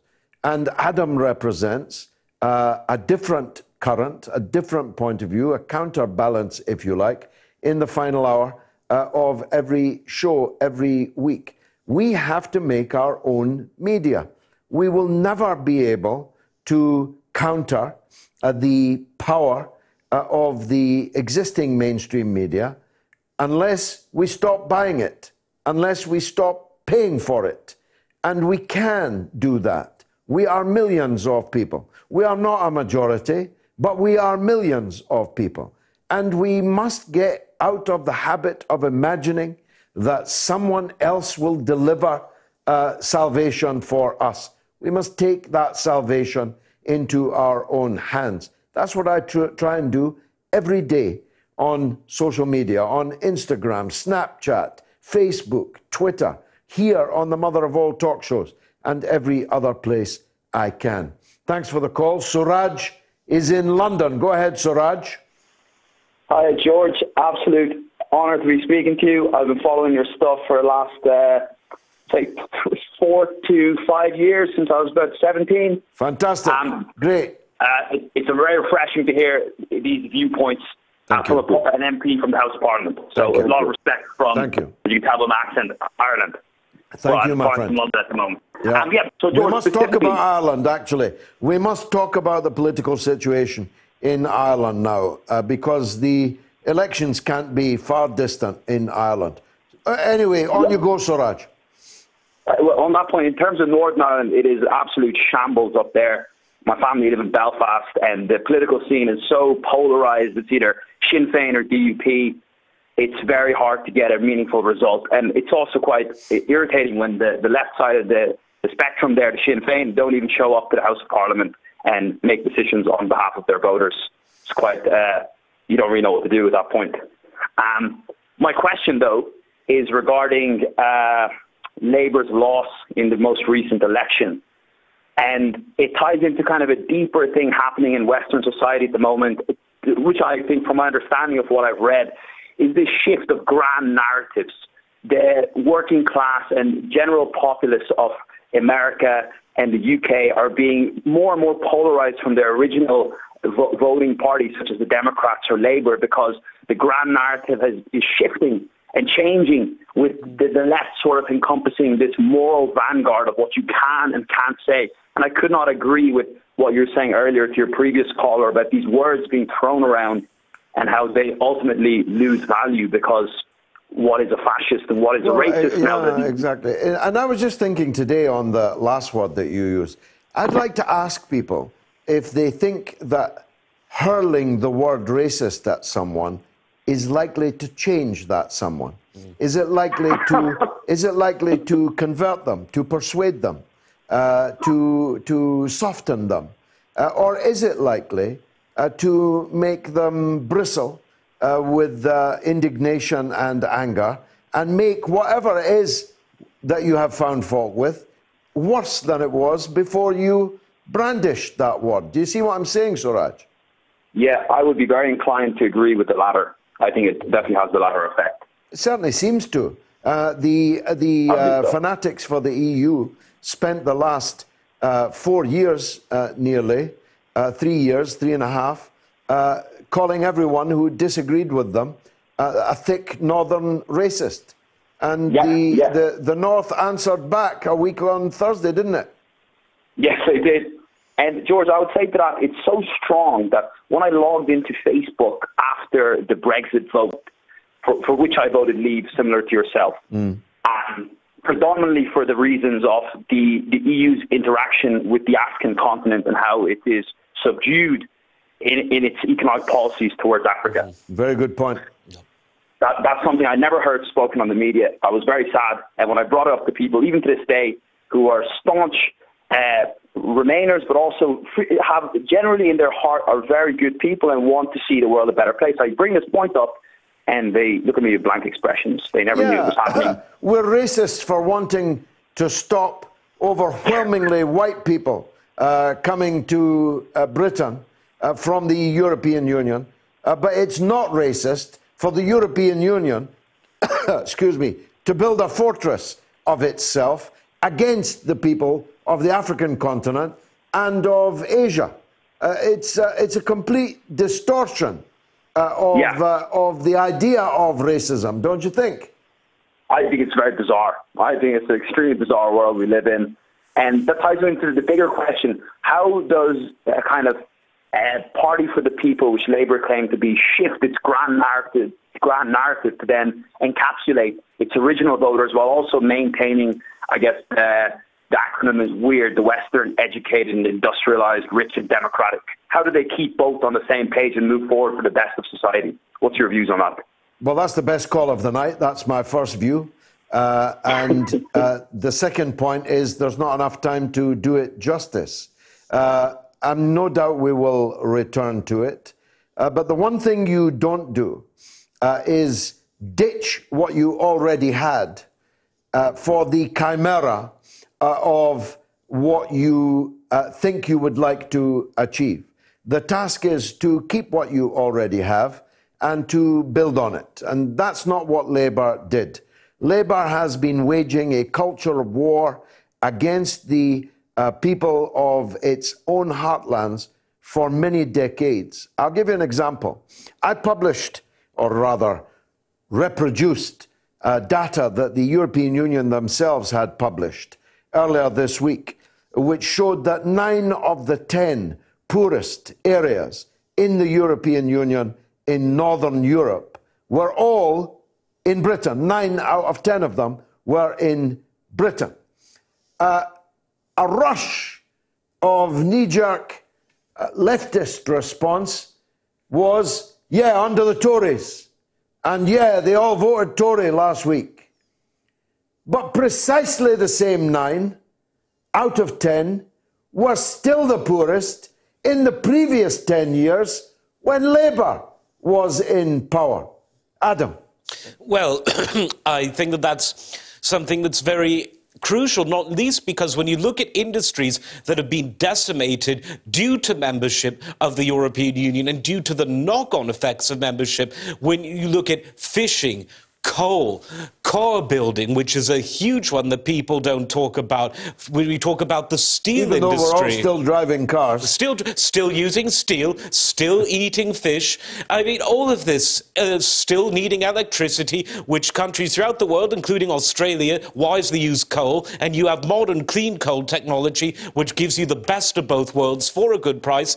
Things are entirely backwards because of membership of what isn't a free trading club, but a corrupt, rotten to the core cartel. And I'll be so, so I honestly think that Britain leaving the European Union ranks among the most positive polit political events in my lifetime alongside the Berlin Wall falling down. And I don't say that lightly. Just quickly, one of the other points uh, that the caller mentioned about this being sort of an epoch making time. I think one thing that a lot of people have failed to notice is that unlike in the 80s and into the 90s, when the left right divide was all about economics. Milton Friedman versus John Maynard Keynes, Thatcherism and Reaganism uh, versus, let's say, Footism and socialism of a democratic nature. It's now, no, no one really talks about economic theory anymore. Everyone is talking about cultural issues. The left right divide is cultural, it's no longer economic for two reasons. One, because a culture war is taking place and the working class are fighting back. And number two, because everyone is frankly equally economically incompetent. Uh, Suraj, thanks uh, for that call. Clear the decks. We have a legend on deck. It's Norma in Bristol. Last call of the evening. Go ahead, Norma. Hello, George. Hello, Adam. Um, Hi there. It's uh, it's a minority interest, really, and we've only got a few minutes. But um, I'm a bit upset because the BBC Red Button is going to be discontinued at the end of January. Now, um, for us older people, we might not have smartphones, they haven't all got computers, but I can see so quickly, like the results of tennis, the football, the table, the orders of play. And if that's taken away from us, we're going to lose all that information, you know? What is that? Is that like a kind of Ceefax as used to oh, be? Oh no, you just you just put on BBC One, you press a red button, and you've got a list of things. I always do the sport to see what's happening, and it's so quick and easy. If I wish I didn't know what happened in the sport today, but that's another Oh, I do. I know it all. I know it all. What do you want to know if Chelsea No. beat Tottenham? Well, I know they did, They did, uh, yeah. and I was happy enough about that because I like Jose Mourinho. But having watched Manchester United lose 2 0 to the bottom of Yeah, the table, Watford. Watford, uh, I must Yeah. say I was in uh, despair. So this red button is disappearing when? uh, the end of January. And I mean, to be perfectly honest, um, you know, we are going to stop having our in, in July or May. The license fee is going to be uh, you've got to pay it again. And I just think that perhaps a better idea is to not um, cut the red button. But perhaps pay some of these big presenters a little bit more money, less money. I A bit mean, less more money, yes, Less uh, money, less indeed. Uh. Norma, thanks uh, for that. I had no idea of the red button question. I will look into it and uh, see if there's anything I can advise uh, in due course. It's been marvellous for me. I hope it was for you. And if it was, come back next week at the same time, same place. Spread the word. I'm still looking for my first million. My first million viewers and listeners, of course. That's the point. Thanks to Adam Garrie. As always, thanks to the very clever uh, men and women, overwhelmingly young, but one of them bringing the average age up, uh, that make this show possible every week. And a big thanks to you for making this the fastest growing show on the planet. And I really am not exaggerating. May you all have a lovely Christmas and see you next week.